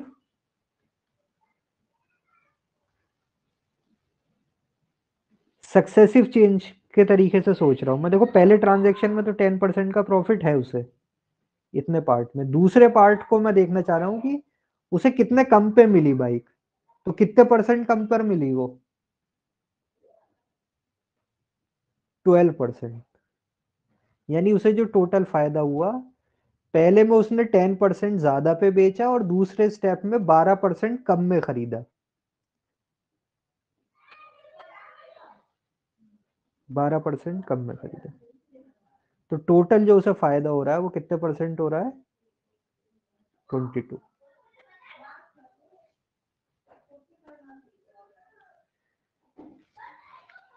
चलो आगे चलते हैं। कॉस्ट इसे रहने देते हैं अभी। नेक्स्ट टॉपिक पे आ जाते हैं।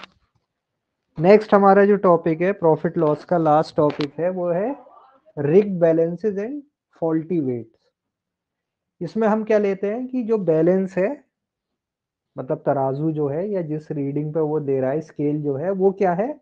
फॉल्टी है। मतलब कुछ उसके अंदर प्रॉब्लम है। तो प्रॉब्लम दोनों तरीके की हो सकती है। कि वेट जो एक्चुअल वेट है उससे ज़्यादा दिखा रहा है वो या फिर एक्चुअल वेट से कम दिखा रहा है? अगर एक्चुअल वेट से ज़्यादा दिखा रहा है तो किसे फ़ायदा है? शॉपकीपर को या कस्टमर को? स्केल जो है या बैलेंस जो है वो क्या शो कर रहा है? एक्चुअल वेट से ज़्यादा शो कर रहा है रीडिंग तो किसको फ़ायदा होगा? शॉपकीपर को शॉपकीपर को? शॉपकीपर को? क्योंकि तो देखो शॉपकीपर के लिए ये चीज़ अच्छे से समझ लो कि शॉपकीपर की, के रेफरेंस से अगर हम देखेंगे चीज़ों को तो उसकी कॉस्ट क्या है? शॉपकीपर के लिए कॉस्ट क्या चीज़ होगी? Actual weight of the goods given यानी एक्चुअल जो एक्चुअल उसका सामान जा रहा है, वो उसकी क्या है? कॉस्ट है। और उसकी अर्निंग क्या है? अर्निंग है उसकी, रीडिंग ऑन द बैलेंस। यानी कस्टमर किसके हिसाब से पे करता है? जो भी उसे बैलेंस पे दिखता है, वेट। उसी के हिसाब से कस्टमर पे करता है ना, कोई भी चीज़ खरीदने पे। तो जब हम शॉपकीपर के हिसाब से चीज़ों को देखेंगे तो शॉपकीपर की कॉस्ट क्या होगी? जो कि एक्चुअल वेट जा रहा है उसके पास से। जैसे अगर मान लो, बिल्कुल सही हमारा बैलेंस है तो एक किलो उसने वेट दिया तो जो उस एक किलो की कॉस्ट आई उसे, वो उसकी कॉस्ट है। और उसकी अर्निंग क्या है? जो कस्टमर ने स्केल देख के उस स्केल पे उसे एक किलो दिख रहा था तो उसे एक किलो के पैसे दिए। वो उसकी अर्निंग है। यहाँ तक तो क्लियर है। अब अगर बैलेंस गड़बड़ हो जाता है कभी कभी गलती से भी हो जाता है प्रॉब्लम और कभी कभी चीटिंग भी करते हैं। तो उसके हिसाब से भी होता है। दोनों केसेस हम पढ़ेंगे इसमें। तो उसमें क्या होगा? अगर वेट कम है और रीडिंग ज़्यादा शो हो रही है तो उसका जो एक्चुअल वेट जा रहा है, वो तो कम जा रहा है, लेकिन वो जो कस्टमर से पैसे ले रहा है अर्निंग जो ले रहा है, वो ज़्यादा ले रहा है। तो फ़ायदा किसको हो जाता है?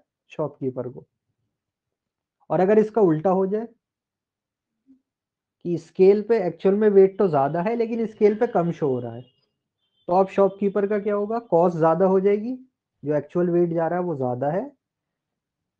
और जो कस्टमर पैसे दे रहा है, वो बैलेंस देख के दे रहा है, वो कम हो गई।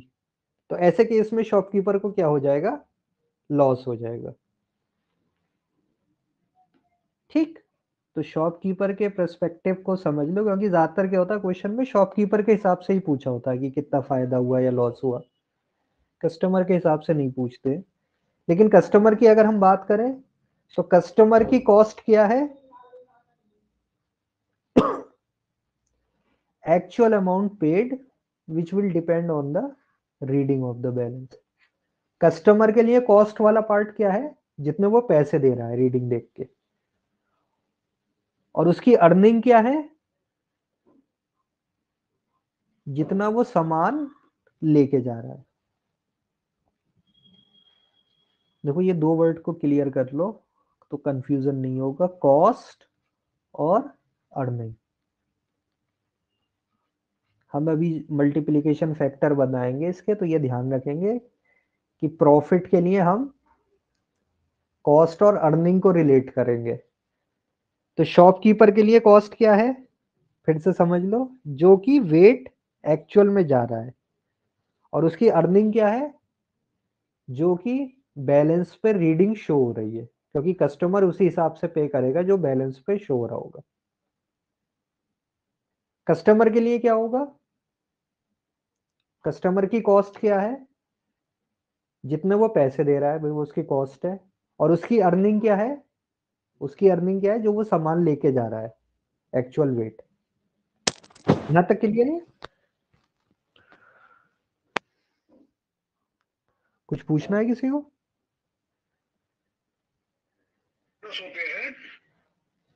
क्लियर है। ये पॉइंट यस सर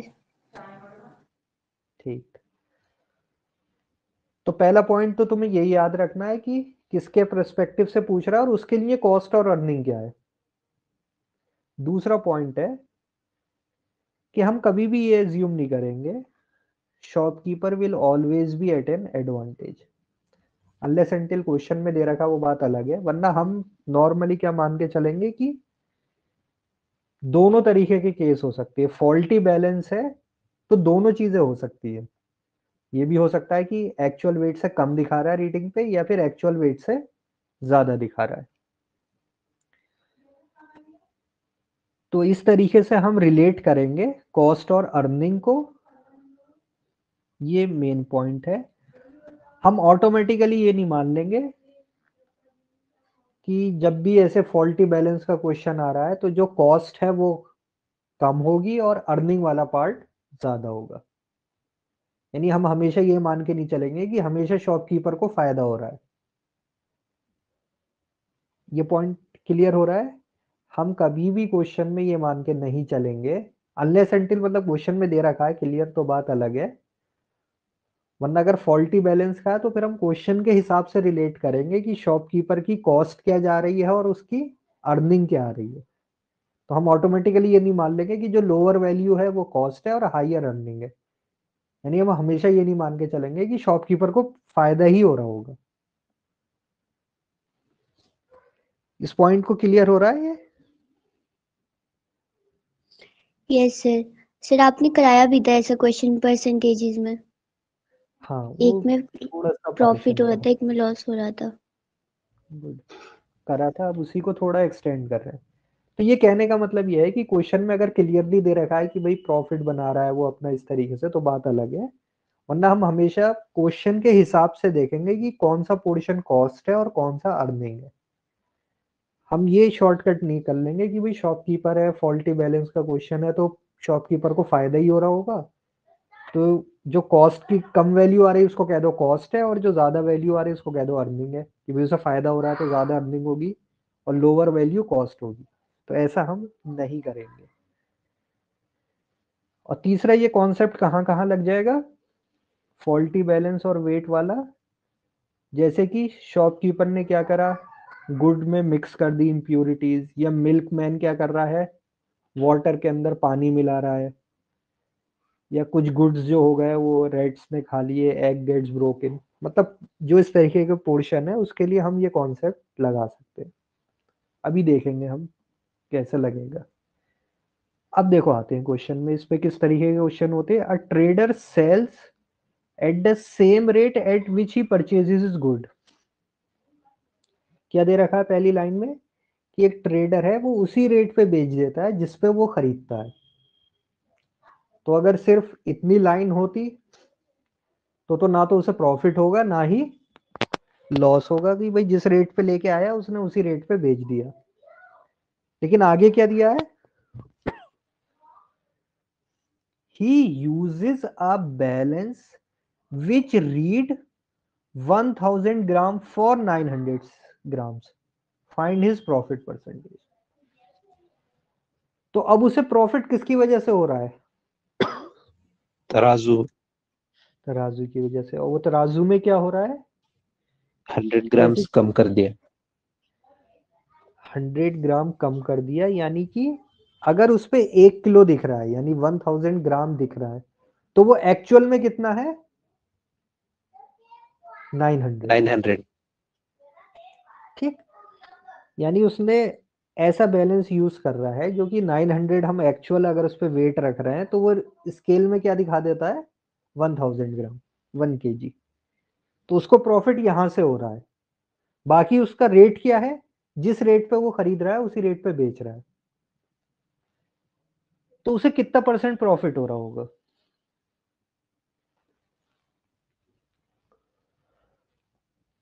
तो देखो, इसको करने का पहले हम समझ लेते हैं क्या बेसिक तरीका उसके बाद हम इसके लिए भी एक मल्टीप्लीकेशन फैक्टर करेंगे। मान लो उसने क्या करा, जो भी सामान खरीदा है, वो सीपी हम ले लेते हैं एक्स पर केजी तो उसका सेलिंग प्राइस भी क्या है सेम है एक्स पर केजी क्योंकि क्या दे रखा सेम रेट पे बेच रहा है। तो इसी पे सेल कर रहा है। अब उसके पास से कितना जा रहा है? 900 ग्राम।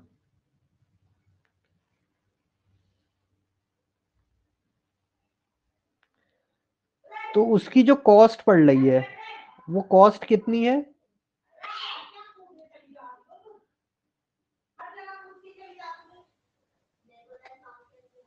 बल्कि पर ग्राम। पर ग्राम कर लो रेट कन्वर्जन नहीं करना पड़ेगा, छोड़ो। देखो, ये क्या लिखा है? ये कॉस्ट प्राइस लिखी। वो जो सामान खरीद रहा है, वो किस रेट पे खरीद रहा है? एक्स रुपीज़ पर ग्राम और सेल कितने पे कर रहा है? एक्स रुपीज़ पर ग्राम तो कॉस्ट अब हम किसकी बात कर रहे हैं? शॉपकीपर की। हम किसके रेस्पेक्ट में बात कर रहे हैं? शॉपकीपर के। शॉपकीपर का परसेंटेज प्रॉफिट पूछा है ना? तो हम शॉपकीपर के परस्पेक्टिव से देख रहे हैं। शॉपकीपर के लिए कॉस्ट क्या चीज़ होती है? जो कि उसका सामान गया वो उसकी कॉस्ट है ना? तो कितना सामान जा रहा है इस केस में हमारे में? वन थाउज़ेंड ग्राम जा रहा है या nine hundred nine nine hundred nine hundred भाई उसके पास से तो नाइन हंड्रेड गया। तो उसकी कॉस्ट क्या हो जाएगी? Nine hundred into x. भाई एक ग्राम की एक्स थी तो नाइन हंड्रेड इंटू एक्स उसकी कॉस्ट हो गई जो सामान गया। उसकी अर्निंग कितनी हुई? अर्निंग क्या होगी? जो कस्टमर उसे पैसे देगा। तो कस्टमर क्या चीज़ देख के पैसे देगा? स्केल बैलेंस पे जो रीडिंग थी। एक्चुअल नहीं एक्चुअल वेट कहाँ से निकालोगे भाई तुम अगर दुकान पे जाओगे तो तुम किस हिसाब से पैसे देते हो? उसके स्केल देख के देते हो ना भी एक किलो दिख गया तो तुमने मान लिया कि एक किलो है वो। तुम्हें एक्चुअल वेट नहीं पता ना उसका। Yes, शॉपकीपर शॉपकीपर की अर्निंग की बात कर रहा हूँ। शॉपकीपर की अर्निंग कैसे होती है? जो कस्टमर उसे देता है। कस्टमर क्या देख के देता है? जो कि बैलेंस पे दिख रहा है। अगर उस पर एक किलो दिख रहा है, उसने मान लिया कि एक किलो है। यानी one thousand gram into x क्योंकि कॉस्ट प्राइस और सेलिंग प्राइस सेम है। तो कॉस्ट में भी एक्स आ गया और सेलिंग में भी एक्स पर केजी आ गया। तो टोटल उसकी कॉस्ट कितनी हो गई? 900 एक्स और टोटल अर्निंग कितनी हो गई? 1000 एक्स तो कितना प्रॉफिट हो गया? 100 एक्स। तो प्रॉफिट परसेंटेज कितनी हो गई? 100 एक्स अपॉन बेस में क्या आएगा? Nine hundred. Hundred hundred. Good. Base में हमेशा कॉस्ट रहेगी। Into hundred percent. तो ये हो गया one upon nine. One upon nine is eleven point one one percent. यानी ऐसा कोई बैलेंस है जिसमें कि वन, नौ सौ ग्राम के एक हज़ार दिख रहे हैं तो कितना फ़ायदा हो रहा है उसे?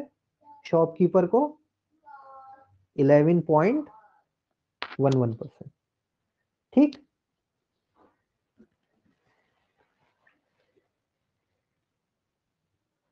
अच्छा कोई ये बता सकता है?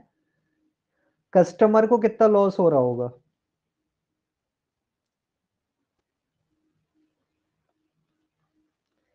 Sir hundred gram loss percentage hmm sir ten percent good customer की लॉस परसेंट है टेन परसेंट ऐसा क्यों है भाई? शॉपकीपर की परसेंटेज हम प्रॉफिट में कह रहे हैं eleven point one one percent और कस्टमर को कह रहे हैं टेन परसेंट लॉस सर उसकी बेस सीपी चेंज है। उसकी बेस कम है वेरी बेस चेंज हो जाएगी।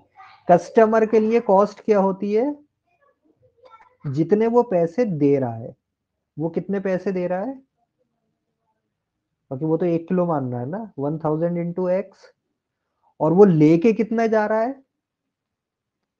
Nine hundred nine hundred into x भाई कस्टमर की अर्निंग क्या होती है? जितना वो सामान लेके आया। वो नाइन हंड्रेड ग्राम लाया, एक ग्राम की कॉस्ट थी एक्स तो नाइन हंड्रेड एक्स तो लॉस अमाउंट तो सेम है। लॉस उसे भी हंड्रेड एक्स का ही हुआ। बट उसके लिए जो कॉस्ट है, ये बेस है। तो हंड्रेड अपॉन थाउज़ेंड यानी कि टेन परसेंट नॉर्मली ऐसे क्वेश्चन में कस्टमर की नहीं पूछते हैं। शॉपकीपर पे ही है। तो शॉपकीपर से ध्यान रखो, उसकी कॉस्ट क्या है? जो एक्चुअल वेट जा रहा है, उसकी कॉस्ट जो सामान जा रहा है उसकी कॉस्ट और अर्निंग क्या है? जो सामान बेच रहा है, यानी कि कस्टमर जो पैसे दे रहा है तो वो बैलेंस स्केल देख के दे रहा है। क्लियर ये देखो, ये परसेंटेज इंक्रीज डिक्रीज वाला वही कॉन्सेप्ट है। ये मान लो शॉपकीपर है और ये कस्टमर है। शॉपकीपर कस्टमर को बेच रहा है कितने प्रॉफिट पर? 11.11 परसेंट यानी 11.11 परसेंट इंक्रीज तो कस्टमर के रेस्पेक्ट में कितना डिक्रीज होगा? 10%. इंक्रीज और डिक्रीज वाला। क्या था? 11.11 इज़ कितना होगा फ्रैक्शन में? वन अपॉन नाइन अगर किसी वैल्यू को हम वन बाई नाइन से इंक्रीज कर दें तो ओरिजिनल वैल्यू पे आने के लिए कितना डिक्रीज करना पड़ेगा?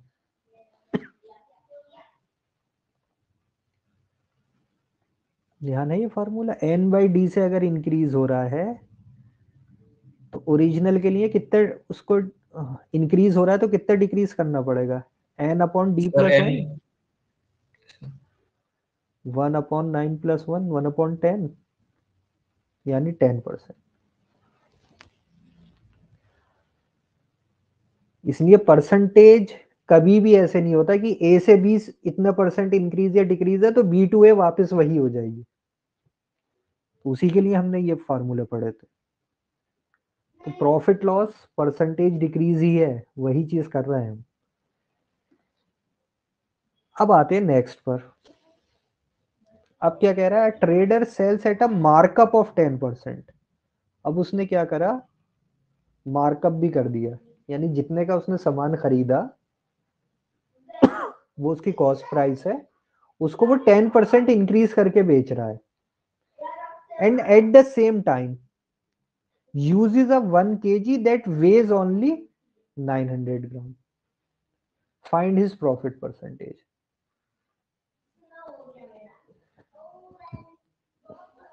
तो हम पहले कॉस्ट निकालते हैं। शॉपकीपर को कॉस्ट कितनी पड़ रही है?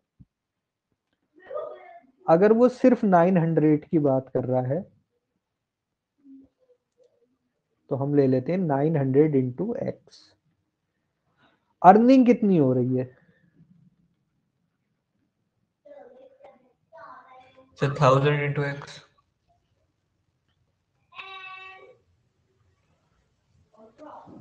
पहली बात तो वो 900 के क्या दिखा रहा है? 1000 ये किसकी वजह से है? फॉल्टी बैलेंस की वजह से। फॉल्टी बैलेंस की वजह से क्या चेंज आ रहा है? 900 के क्या बन गए? 1000 थाउज़ेंड। है ना? भाई एक्चुअल उसमें 900 ग्राम है लेकिन कस्टमर क्या समझ रहा है? 1000 तो वो कितने पे करेगा? 1000 थाउज़ेंड इंटू एक्स इंटू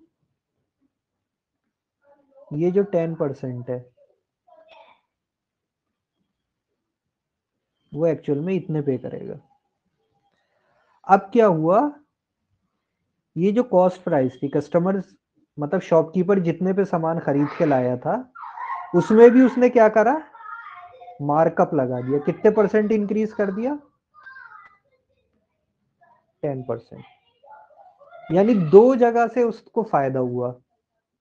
एक उसने जितने की सामान खरीद के लाया था, उस पे अपना टेन परसेंट इंक्रीज करके बेच रहा है वो। और दूसरा क्या कर रहा है? एक बैलेंस भी लाया है, जो कि 900 को कितना शो कर रहा है? 1000 तो ये दो फ़ायदे हुए उसे। तो उसकी टोटल कॉस्ट कितनी हो गई? 900x और अर्निंग कितनी हो गई? ये से ये गया। 1100x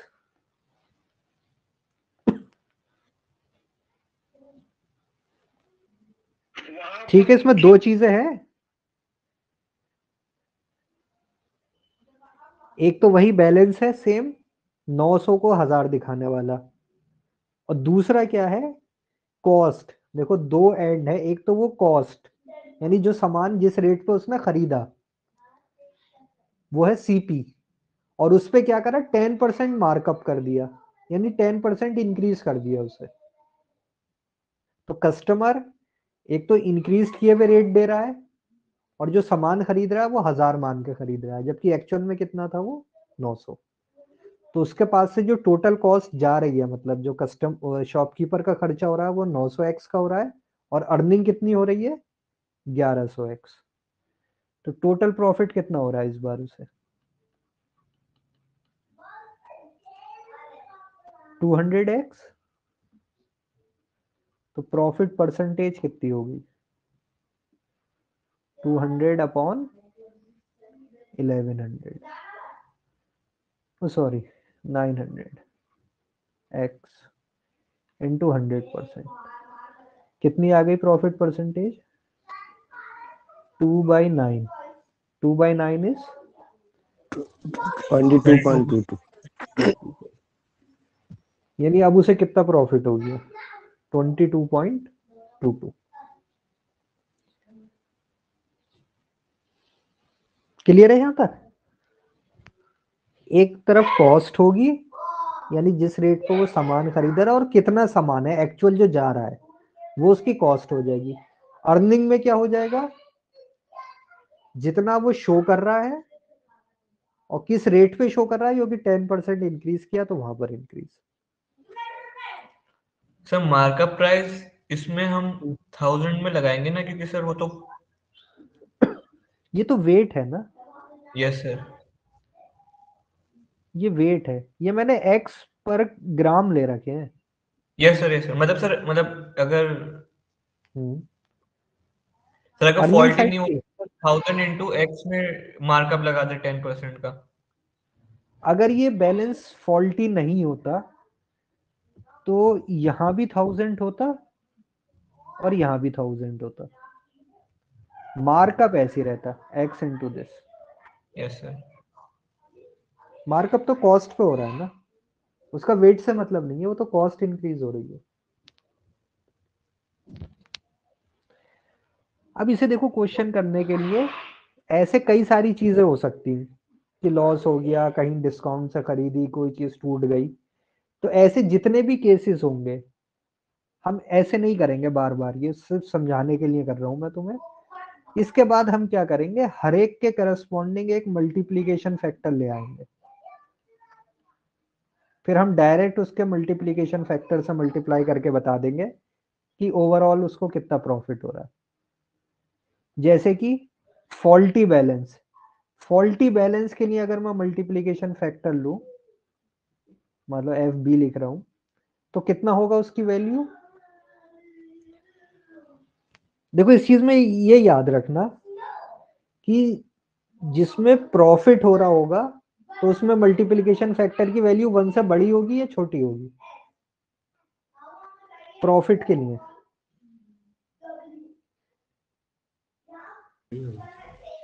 बड़ी greater than greater than one होगी। जैसे तुम्हें बैलेंस से समझ में आ रहा है कि वन केजी है लेकिन रीड कर रहा है 900 ग्राम पे तो तुम्हें समझ में आ रहा है कि फ़ायदा हो रहा है। तो तुम ये वैल्यूज़ इस तरीके से लिखोगे कि तुम्हें पता चल जाए कि वन से बड़ी वैल्यू आएगी।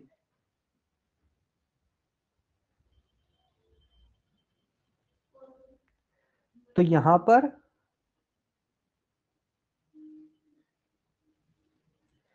थाउज़ेंड की चीज़ है। थाउज़ेंड अगर ग्राम है एक्चुअल में कितना था वो? 900 ग्राम। तो अर्निंग कितनी है उसकी? अर्निंग की साइड से निकालते हैं हम।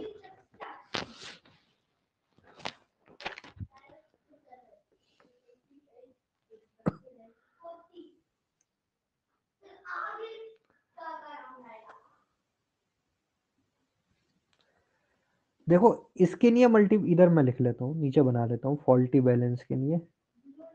फॉल्टी बैलेंस के लिए उसको प्रॉफिट हो रहा है इस ट्रांजेक्शन से यानी इसकी वैल्यू क्या होगी? ग्रेटर देन वन होगी।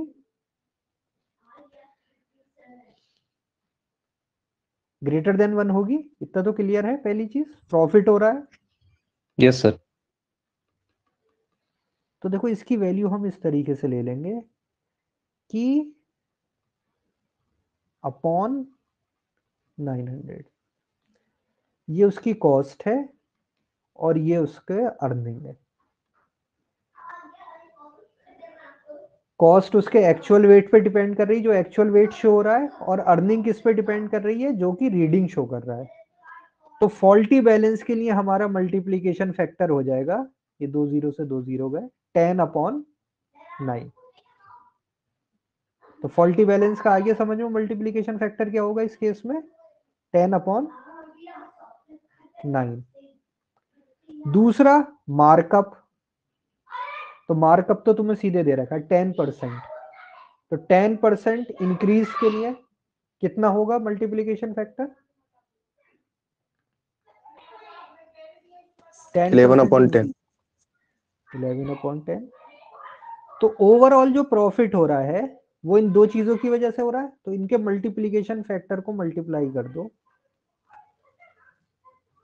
क्या आ गया? Eleven by nine? Eleven by nine का मतलब कितने percent profit two upon nine.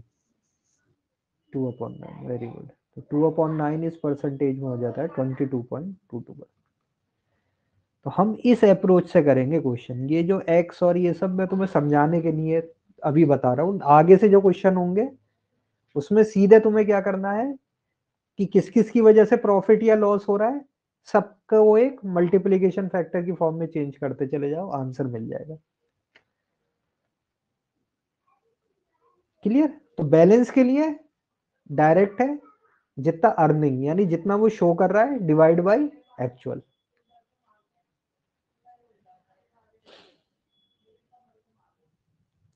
अच्छा ये देखो थोड़ा सा अलग क्वेश्चन था। In summers all metallic metre scale expand by ten percent वो क्या कह रहा है कि जब भी समर्स आते हैं तो क्या होता है? जो स्केल होते हैं मेटल के बने होते हैं, गर्मी में क्या होता है? मेटल एक्सपेंड होता है। तो टेन परसेंट वो इंक्रीज हो जाते हैं। तो बताओ प्रॉफिट कितना होता है क्लोथ ट्रेडर को इन समर्स अगर वो मेटेलिक मीटर स्केल से मेजर करता है क्लोथ और वो मार्कअप पे बेच रहा है टेन परसेंट के।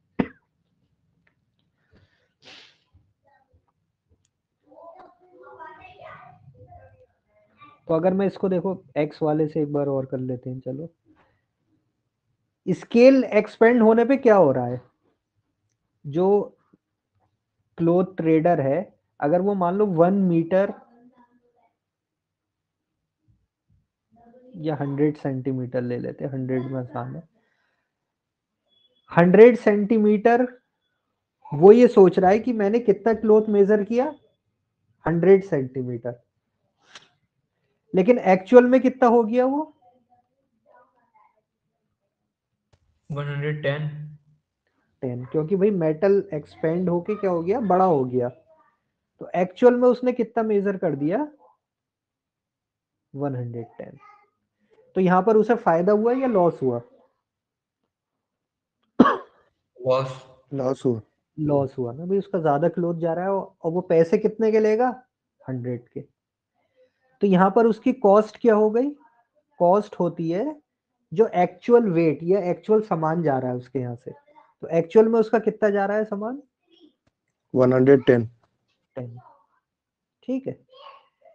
इनटू एक्स मान लेते हैं हम उसकी कॉस्ट प्राइस कि पर सेंटीमीटर उसकी एक्स थी कॉस्ट और उसकी अर्निंग कितनी हुई? 100 into x. भाई कस, भाई कस्टमर कितने के देगा? वो तो हंड्रेड सेंटीमीटर के ही पैसे देगा ना. हंड्रेड इंटू एक्स नहीं है देखो इस बार. उस वो मार्कअप करके बेच रहा है. टेन परसेंट का मार्कअप टेन परसेंट का मार्कअप मतलब इलेवन बाई टेन। मतलब जिस कॉस्ट पे वो खरीद रहा है, उसमें टेन परसेंट इंक्रीज करके बेच रहा है वो। तो ये भी कितना आ गया? 110x ये भी कितना आ गया? 110x यानी ऐसे ट्रांजैक्शन पे उसे ना तो प्रॉफिट हो रहा, ना ही लॉस हो रहा। उसने जो 10 परसेंट इंक्रीज किया था मार्कअप वो क्या हो गया? मेटल के स्केल से ज़्यादा सामान चला गया तो दोनों वहाँ पर बैलेंस हो गए एक दूसरे ठीक, अब इसको देखो मल्टीप्लीकेशन फैक्टर में कैसे करते हैं। ये जो तुम्हारे स्केल की वजह से गड़बड़ हुआ, मान लो एफ़ एस तो वहाँ पे अर्निंग कितने की हुई उसकी? ऊपर देखो अर्निंग लिखते हैं और नीचे लिखते हैं उसकी कॉस्ट इस बार तुम्हें वैसे भी पता है कि इसकी वजह से क्या हो रहा है? लॉस हो रहा है। तो इसकी वैल्यू जो होगी वो लेस देन वन होगी। तो कितनी कितनी रीडिंग पे अर्निंग हो रही? अर्निंग कितने पर हो रही है उसको? सौ पर? और एक्चुअल कितना जा रहा है? Cloth? One ten one ten यानी इसका मल्टीप्लीकेशन फैक्टर हो गया टेन बाई इलेवन दूसरा है मार्कअप मार्कअप तो पता है, टेन परसेंट इंक्रीज के लिए तो इसकी वैल्यू क्या हो जाएगी? 11 बाई टेन। तो ओवरऑल प्रॉफिट इन दोनों का मल्टीप्लीकेशन होता है, ten by eleven into eleven by ten. One आ रहा है। वन का मतलब नो प्रॉफिट नो लॉस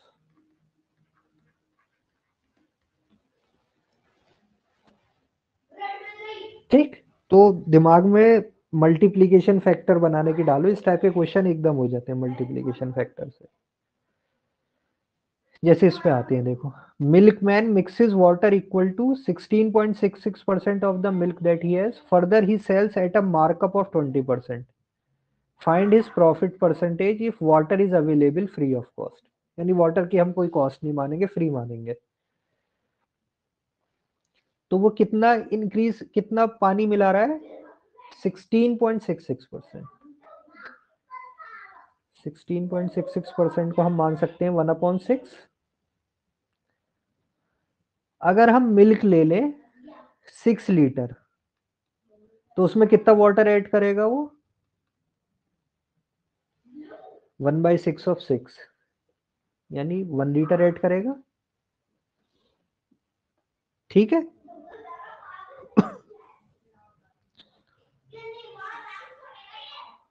अब हम मान लेते हैं कि मिल्क की कॉस्ट तो कॉस्ट क्या होगी मिल्क मैन के लिए? जितना उसका मिल्क जा रहा है कस्टमर को जितना वो मिल्क दे रहा है। तो ये टोटल मिल्क हो गया सेवन लीटर लेकिन सेवन लीटर में मिल्क कितना है? सिक्स तो कॉस्ट किसकी है? सिर्फ़ मिल्क की ना? उसमें पानी yes, की तो कोई कॉस्ट नहीं है। पानी को तो इस क्वेश्चन में दिया हुई कि फ्री ऑफ़ कॉस्ट मानना है। तो हम मान लेते हैं सिक्स इंटू एक्स एक्स क्या है? Cost of milk per litre milk की सिर्फ़। तो उसके पास से जो कॉस्ट गई वो सिर्फ़ मिल गया पानी तो फ्री का था। वो भी कितना? छह लीटर तो उसकी टोटल कॉस्ट कितनी हो गई? सिक्स एक्स और अर्निंग कितनी हो गई? उसने जो कस- हाँ गुड कस्टमर को कितना बेचा? Seven litre. तो सिक्स का पहली बात यहाँ सेवन हो गया। और जो रेट किस रेट पर बेचा? Markup of twenty percent. यानी x into six upon five one upon हाँ सिक्स अपॉन फाइव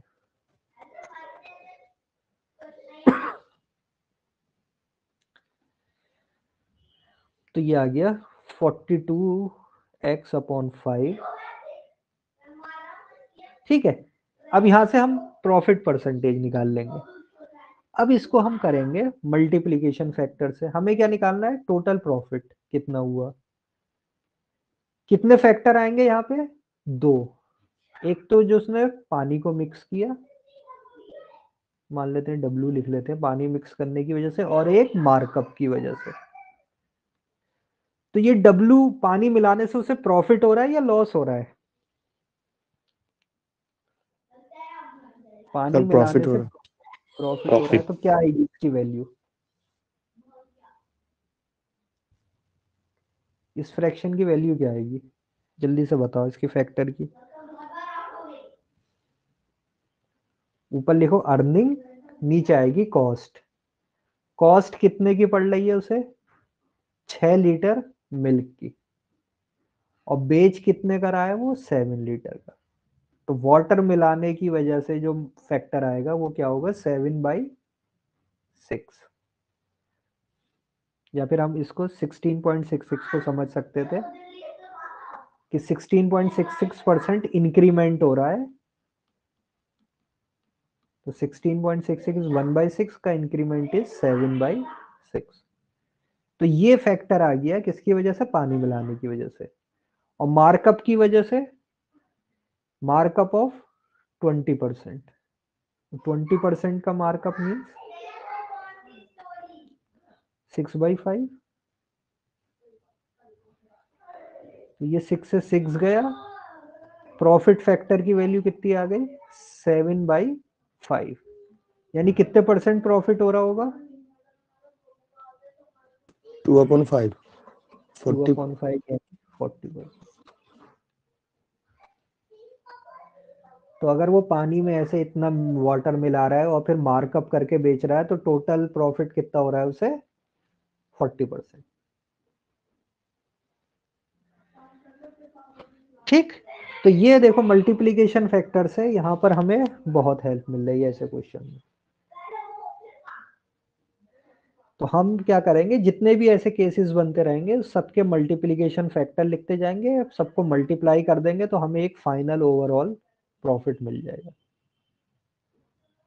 बस ध्यान हमें ये रखना है कि जब भी प्रॉफिट होगा तो मल्टीप्लाइंग फैक्टर को ग्रेटर देन वन लेना है, जब भी लॉस होगा तो लेस देन वन जैसे ये क्वेश्चन है अब आते हैं। Selling at a twenty percent higher rate as compared to the rate of purchase, a shopkeeper is able to make a profit of only 10% due to his faulty balance. अब की बार balance दूसरे तरीके का है। उसकी वजह से उसे क्या हो रहा है? लॉस हो रहा है। तो वो क्या कह रहा है कि हमें कितने पे बेच रहा है वो? 20 परसेंट हाइयर रेट यानी कि मार्कअप तो मार्कअप का मल्टीप्लिकेशन फैक्टर कितना आ गया? 20 परसेंट हाइयर मीन्स क्या हो गई वैल्यू इसकी? मार्कअप वाले की? जल्दी बताते जाओ अब तो देखो क्वेश्चन एकदम हो जाएँगे। डिफिकल्टी लेवल बढ़ रही लेकिन अब तुम जल्दी करते चले जाओगे। क्या हो गया इसका? ट्वेंटी परसेंट हाइयर के लिए multiplication factor six by five six by five six by five और प्रॉफिट कितना हो रहा है उसे?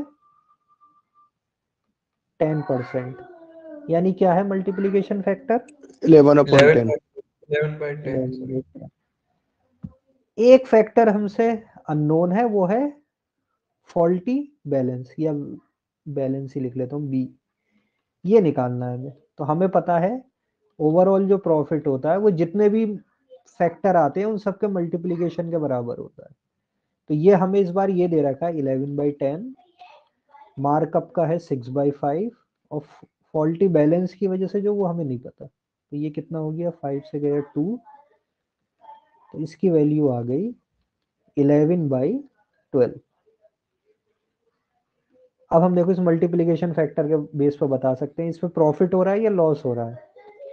इलेवन अपॉन सर लॉस हो रहा loss लॉस हो रहा है। लेस देन वन और कितने परसेंट हो रहा है? अगर ये पूछा होता तो हम बता सकते थे। 1 upon 12 one upon twelve yes one upon twelve is eight point 8.33 percent. Three three होता है ट्वेल्व होता है. Three three yes eight point three three percent तो ये है लेकिन इस बार ये नहीं पूछा हमसे. ये हम निकाल लेते. आगे क्या पूछ रहा है? कि क्या रीडिंग शो होगी बैलेंस पे? अगर हम उस पे एक केजी का रख दें वेट यानी ये क्या दे रखा है? एक्चुअल वेट तो हमें पता है जो भी हम बैलेंस लेते हैं उसको किस हिसाब से लिखते हैं? यहाँ होती है अर्निंग अर्निंग का मतलब होता है बैलेंस की रीडिंग अपॉन नीचे क्या होती है? कॉस्ट होती है. एक्चुअल कॉस्ट यानी एक्चुअल वेट तो ये फैक्टर तुम्हें पता चल गया, इसकी वैल्यू है 11 बाई ट्वेल्व तो पहले पार्ट में कह रहा है कि बैलेंस पे क्या रीडिंग शो होगी? अगर एक्चुअल वेट यानी हम वो गुड रखें जो कि वन के का है। यानी ये वाली चीज़ अननोन है और ये तुम्हें पता है वन थाउज़ेंड है। केजी को ग्राम में कर लिया। तो इससे हम एक्स की वैल्यू निकाल लेंगे।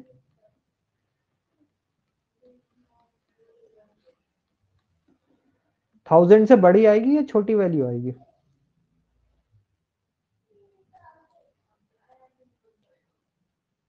भाई देखो उसका बैलेंस ऐसा है जिसकी वजह से उसे नुकसान हो रहा है। तो इस बार जो आंसर बड़ी आएगी सर। बड़ी आएगी। छोटी छोटी। छोटी। छोटी उसे नुकसान हो रहा है ना। एक्चुअल वेट वन थाउज़ेंड है। स्केल पे क्या शो होगा? थाउज़ेंड से कम कुछ वैल्यू आएगी। कितनी आ रही है? तो कैलकुलेशन पार्ट है, खैर, ये समझने के लिए।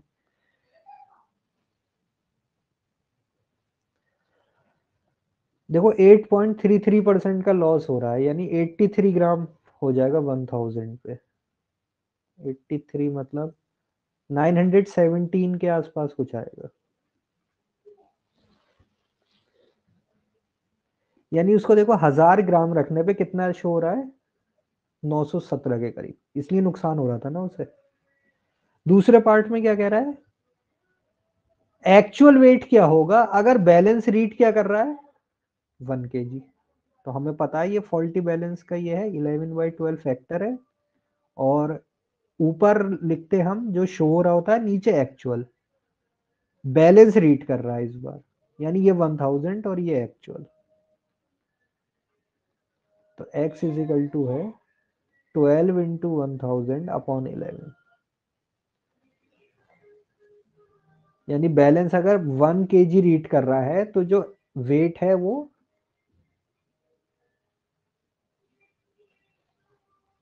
कितना है?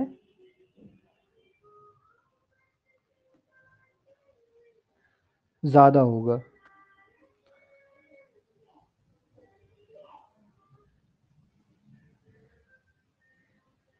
Eleven by twelve is one one by eleven, nine,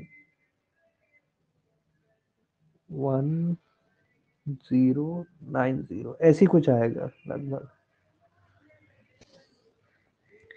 यानी देखो सर लॉस किस तरीके से हो रहा है कि अगर एक हज़ार का वेट है तो वो रीडिंग पे क्या शो कर रहा है? नौ सौ सत्रह। भाई वो पैसे किस किस हिसाब से लेगा? वो तो नौ सौ सत्रह के लेगा ना।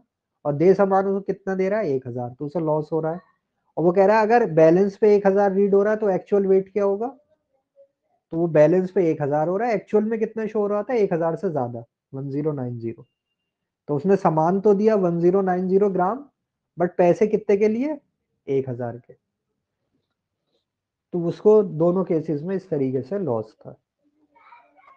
तो ये मल्टीप्लीकेशन फैक्टर से देखो कितनी जल्दी हमें कोई सोचना नहीं पड़ रहा है सीधा हमें वैल्यू पता चल रही before selling the milk to his customer a milk man mixes two litre of freely available water with every eight litre of pure milk तो यहाँ मिक्सिंग हो गई। तो इस वाटर मिक्स करने की वजह से फ़ायदा हुआ या नुकसान हुआ?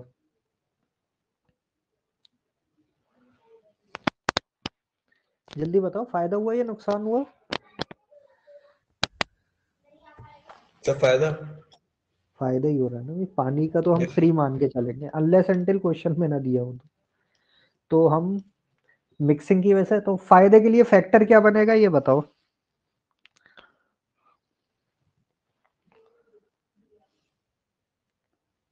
देखो मिक्सिंग या बैलेंस इस तरीके के क्वेश्चन में माइंड में ये सोचो ऊपर अर्निंग रखनी है और नीचे कॉस्ट रखनी है।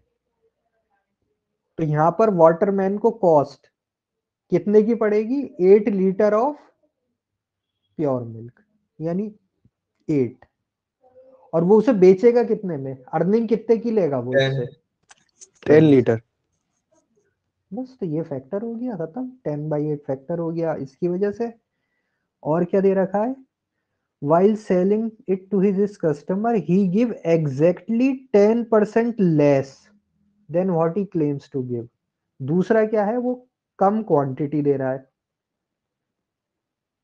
कितनी कम दे रहा है? टेन परसेंट कम टेन परसेंट कम। तो टेन परसेंट लेस के लिए क्या आएगा factor nine by ten nine upon ten nine upon ten आएगा टेन परसेंट लेस अभी जरा इसको रुकते हैं। और markup by twenty percent markup के लिए क्या होगा?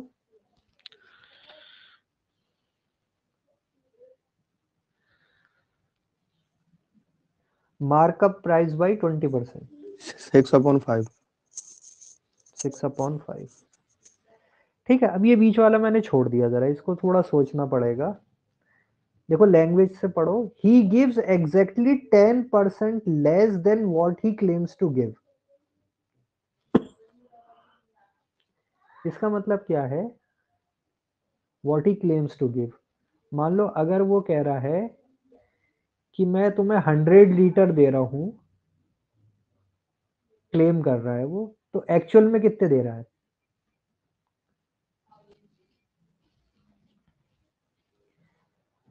अगर वो किसी से कह रहा है कि मैं तुम्हें सौ लीटर दूध दे रहा हूँ तो एक्चुअल में कितना दे रहा है वो? Eighty ten percent ten percent. Ninety तो यहाँ जो फैक्टर आएगा वो इस फॉर्म में आएगा। यानी कि टेन अपॉन नाइन आएगा।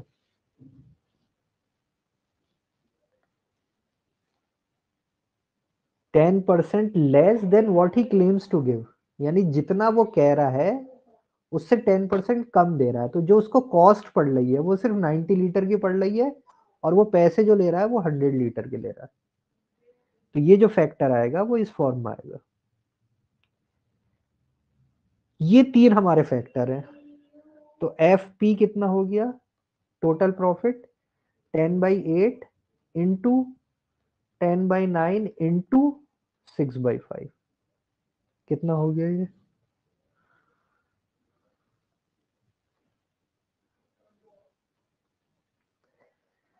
कुछ कट रहा है, फाइव से गया ये टू टू से गया ये फोर फोर से गया टू, और ये आ गया फाइव, और थ्री से आ गया थ्री, और ये आ गया टू टू से आ गया थ्री, ये गया।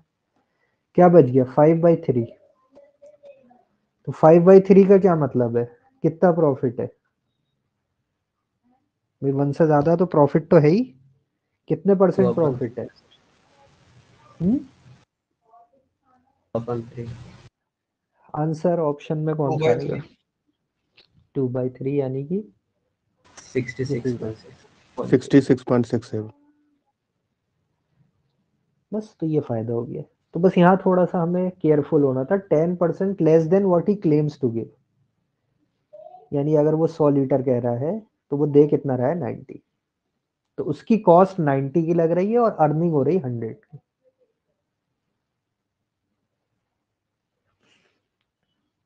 A shopkeeper purchases branded wheat from a wholesaler at a discount of 12.5%. In his storage, rats eat away 10% of the wheat. He mixes impurities to the extent of 10%. Further, while selling, he sell at a discount of this. And his balance read this. Find his profit and loss. तो यहाँ में कितने factor दिख रहा है एक ये 12.5 का दिख रहा है एक ये 10 का दिख रहा है एक ये 10 का दिख रहा है एक ये दिख रहा है और एक ये यानी पाँच फैक्टर होंगे इसमें ठीक तो टोटल जो प्रॉफिट होगा, वो इन पाँच चीज़ों पे डिपेंड कर रहा है। पहला हम देख लेते हैं, वो क्या कर रहा है? होलसेलर से खरीद रहा है। कितने डिस्काउंट पर? 12.5 डिस्काउंट पर। इसके लिए फैक्टर क्या आएगा?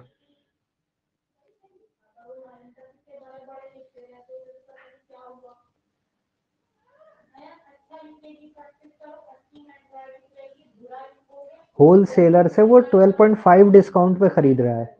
तो उसको फ़ायदा हुआ कुछ? उसका फैक्टर क्या होगा? यही सबसे ट्रिकी है बाकी तो फिर आसान है। ये जो डिस्काउंट वाला फैक्टर आया ये कितना होगा? फिर ये रेट खा गए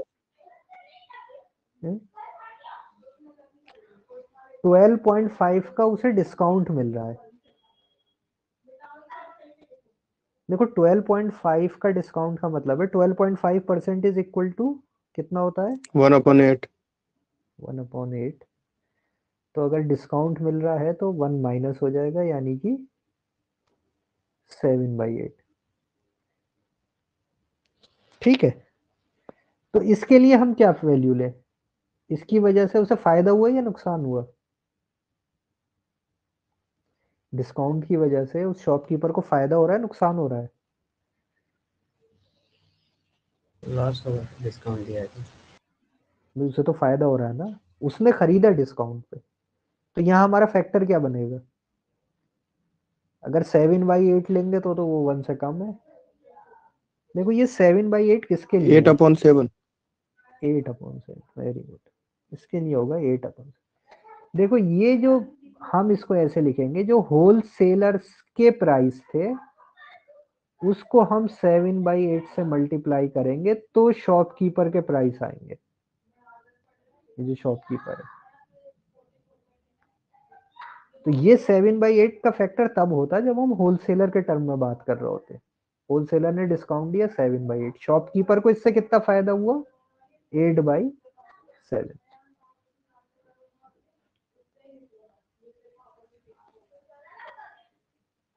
दूसरा क्या है? टेन परसेंट वीट खा गए चूहे। तो ये फ़ायदा है या नुकसान है? नुकसान है सर। कितना फैक्टर हो जाएगा फिर? Nine upon ten nine upon ten फिर क्या है? Mixes impurities to the extent of ten percent अब उसने क्या करा? मिक्स कर दिया टेन परसेंट इम्प्यूरिटीज तो इम्प्यूरिटी की हम कोई कॉस्ट नहीं लेंगे तो अब इसकी वजह से क्या हो गया उसको? कितना फ़ायदा हो गया? क्या आएगा factor increase eleven upon ten eleven upon फिर वो क्या कर रहा है? सेल कर रहा है इतने परसेंट डिस्काउंट पे। देखो अब ये डिस्काउंट वाला है अब वो जो बेच रहा है तो अब उसके लिए जो फैक्टर होगा 6.66 परसेंट का मतलब one upon fifteen one upon fifteen तो डिक्रीजिंग के लिए क्या हो जाएगा? डिक्रीज करना है one minus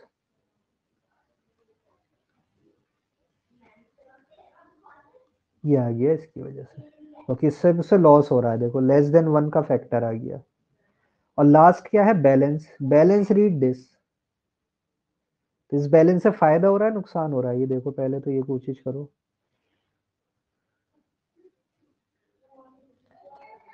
balance read one thousand नुकसान। For eleven hundred. नुकसान हो रहा है यस लॉस हो रहा है सर लॉस हो रहा है तो लॉस अर्निंग कितने की अर्निंग करेगा वो?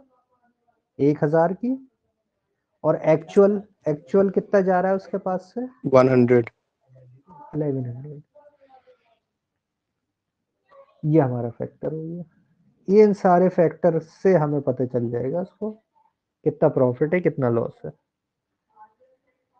ज़ीरो से दो ज़ीरो हटाओ। टेन टेन से ये दो ज़ीरो हटा दो। इलेवन से ये गया। सेवन से ये गया। टू जा। और कुछ जा सकता है। ये थ्री से फाइव। थ्री।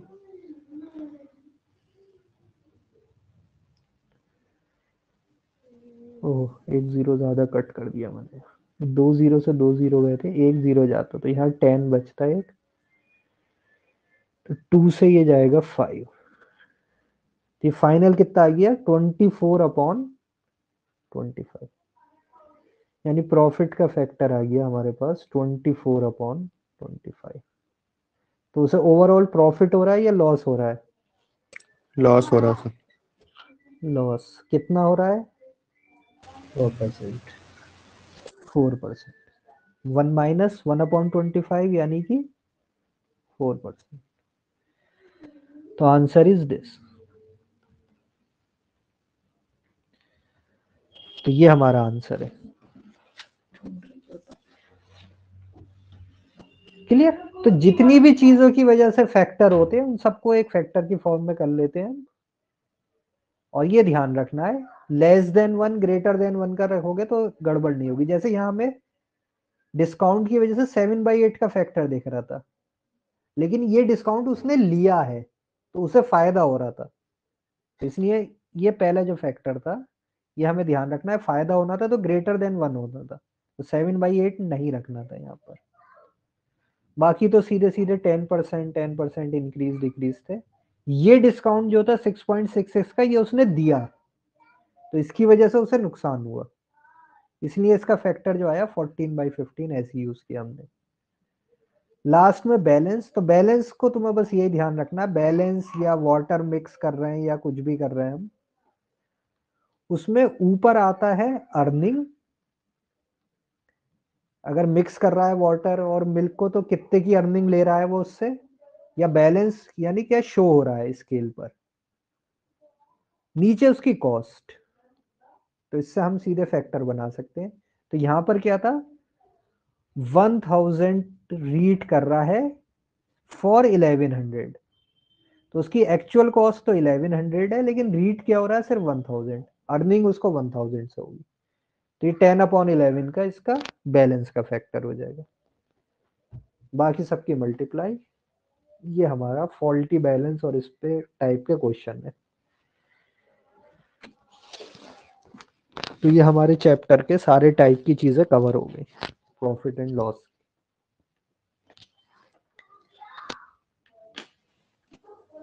एक बार और देख लेते हैं आज हमने क्या क्या टॉपिक करे।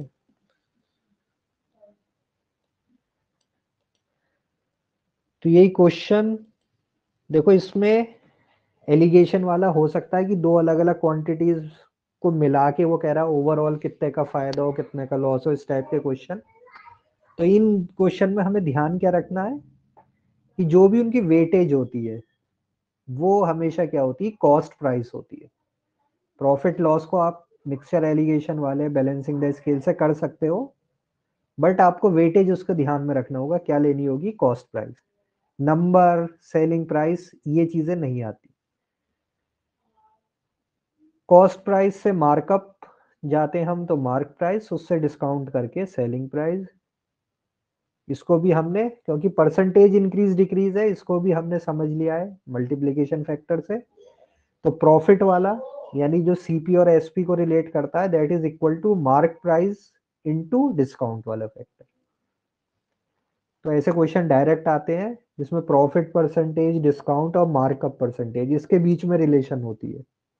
तो सबसे फास्ट इसका यही तरीका है करने का।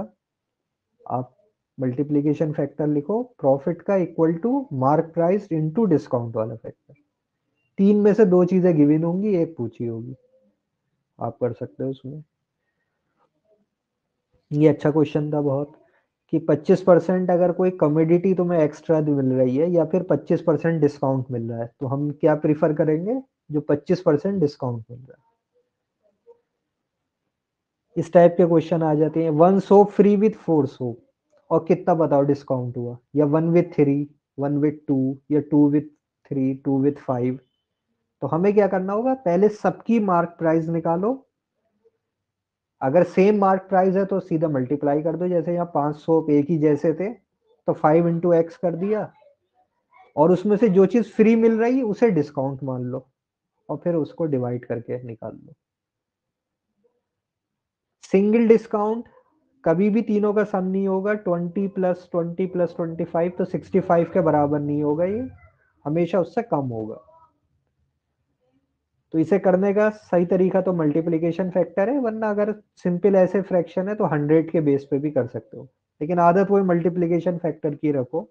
तीन डिक्रीज है तो उनके लिए क्या क्या होगा? मल्टीप्लाई करके तो वो पता चल जाएगा। ये वही था, दो अलग अलग टाइप की हमने मिक्स की। अच्छा ये वो था ए से बी गए और बी से ए आए। तो इस टाइप के और क्वेश्चन करेंगे फ्राइडे में, ये रहने देते हैं। ये मैंने एक छोड़ दिया है। फिर हम आ गए थे रिग बैलेंस और फॉल्टी वेट्स पर। तो हमें शॉपकीपर के परस्पेक्टिव से जब हम देखेंगे तो याद ये रखना है कॉस्ट में हम लेंगे जो एक्चुअल वेट गया, उसकी कॉस्ट और अर्निंग में होगा, जो बैलेंस पे शो हो रहा है। और जो उसका हम प्राइस लगा रखा है हमने, क्योंकि तो कस्टमर क्या होता है बैलेंस को देख के ही प्राइस और बैलेंस पे जो वेट शो हो रहा है, उसको मल्टीप्लाई करके देता है। तो अगर बैलेंस पे वेट से ज़्यादा शो हो रहा है तो फ़ायदा हो जाएगा उसे, और अगर जो एक्चुअल वेट है, उससे कम शो हो रहा है तो नुकसान हो जाएगा। कस्टमर के परस्पेक्टिव से उल्टा है, उसके लिए कॉस्ट क्या है, जितने पैसे उसने दिए और अर्निंग क्या है, जितना वो गुड्स लेके आया। तो क्वेश्चन में अगर दे रखा होता है, तभी हम पहले से एज्यूम करते हैं, वरना हम देखते हैं कि इतनी कॉस्ट है और इतनी अर्निंग है, उसके हिसाब से निकालते हैं। तो यही कॉन्सेप्ट हम मिक्सिंग में भी पढ़ रहे हैं और चीज़ों में भी रहेगा। तो ये बेसिक से समझा था हमने कि एक बैलेंस है जो कि क्या है? 900 ग्राम के 1000 दिखा रहा है और ट्रेडर क्या है? सेम रेट पे बेच रहा है। जिस पे खरीद रहा है, उसी पे बेच रहा है। मतलब कोई मार्कअप नहीं है उसमें। तो यहाँ प्रॉफिट एक ही चीज़ से हो रहा है, उसके फॉल्टी बैलेंस से तो हम सीधे मल्टीप्लीकेशन फैक्टर से कर सकते थे कि 900 ग्राम के लिए 1000 शो हो रहा है। यानी कि 10 अपॉन नाइन उसका फैक्टर हो गया। अर्निंग 1000 एक्चुअल जो उसकी कॉस्ट है वो 900 तो 10 अपॉन नाइन उसका फैक्टर है, और यही एक ही फैक्टर था इसमें तो सीधे प्रॉफिट परसेंटेज।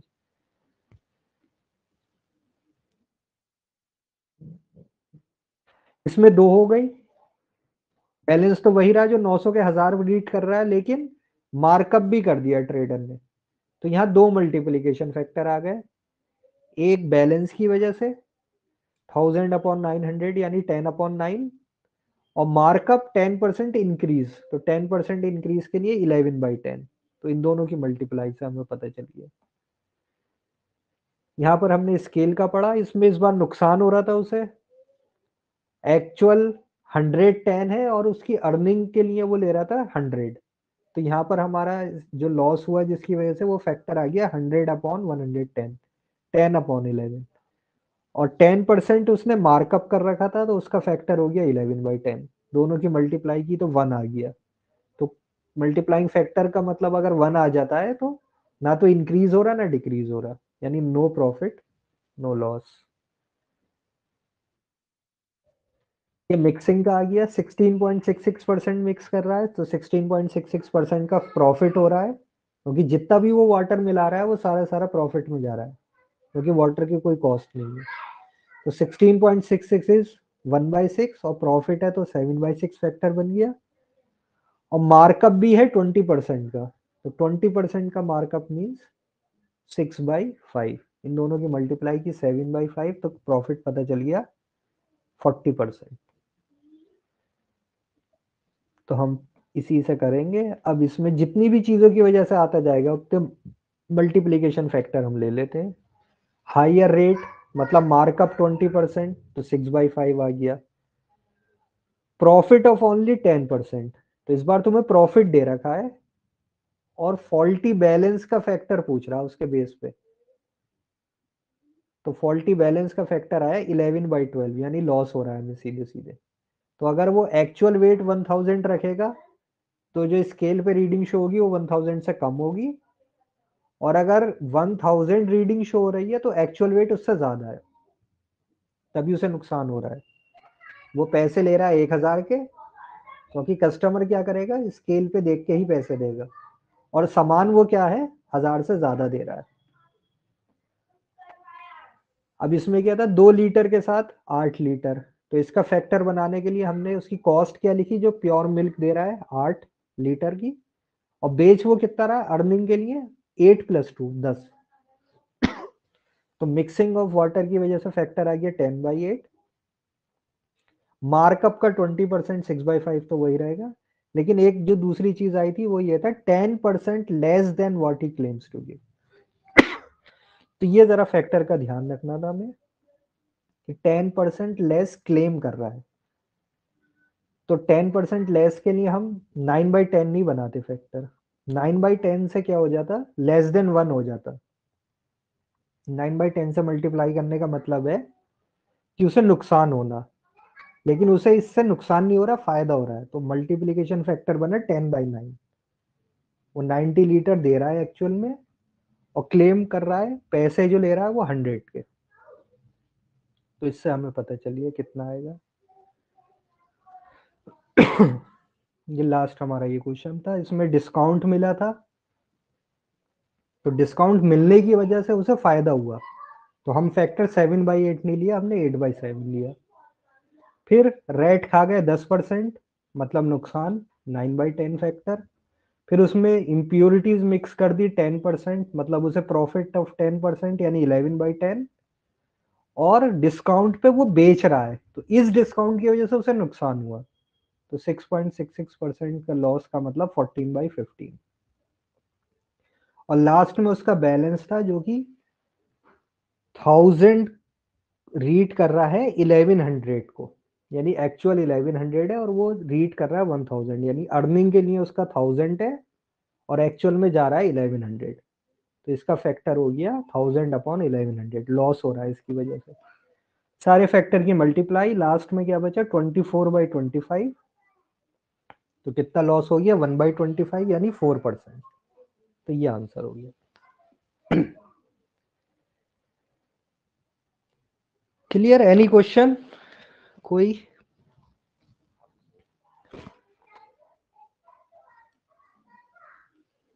किसी का क्वेश्चन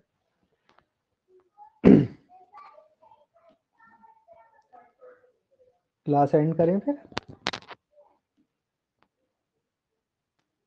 ओके सर खुदा हाफिज ओके सर अल्लाह हाफिज। अल्लाह हाफिज।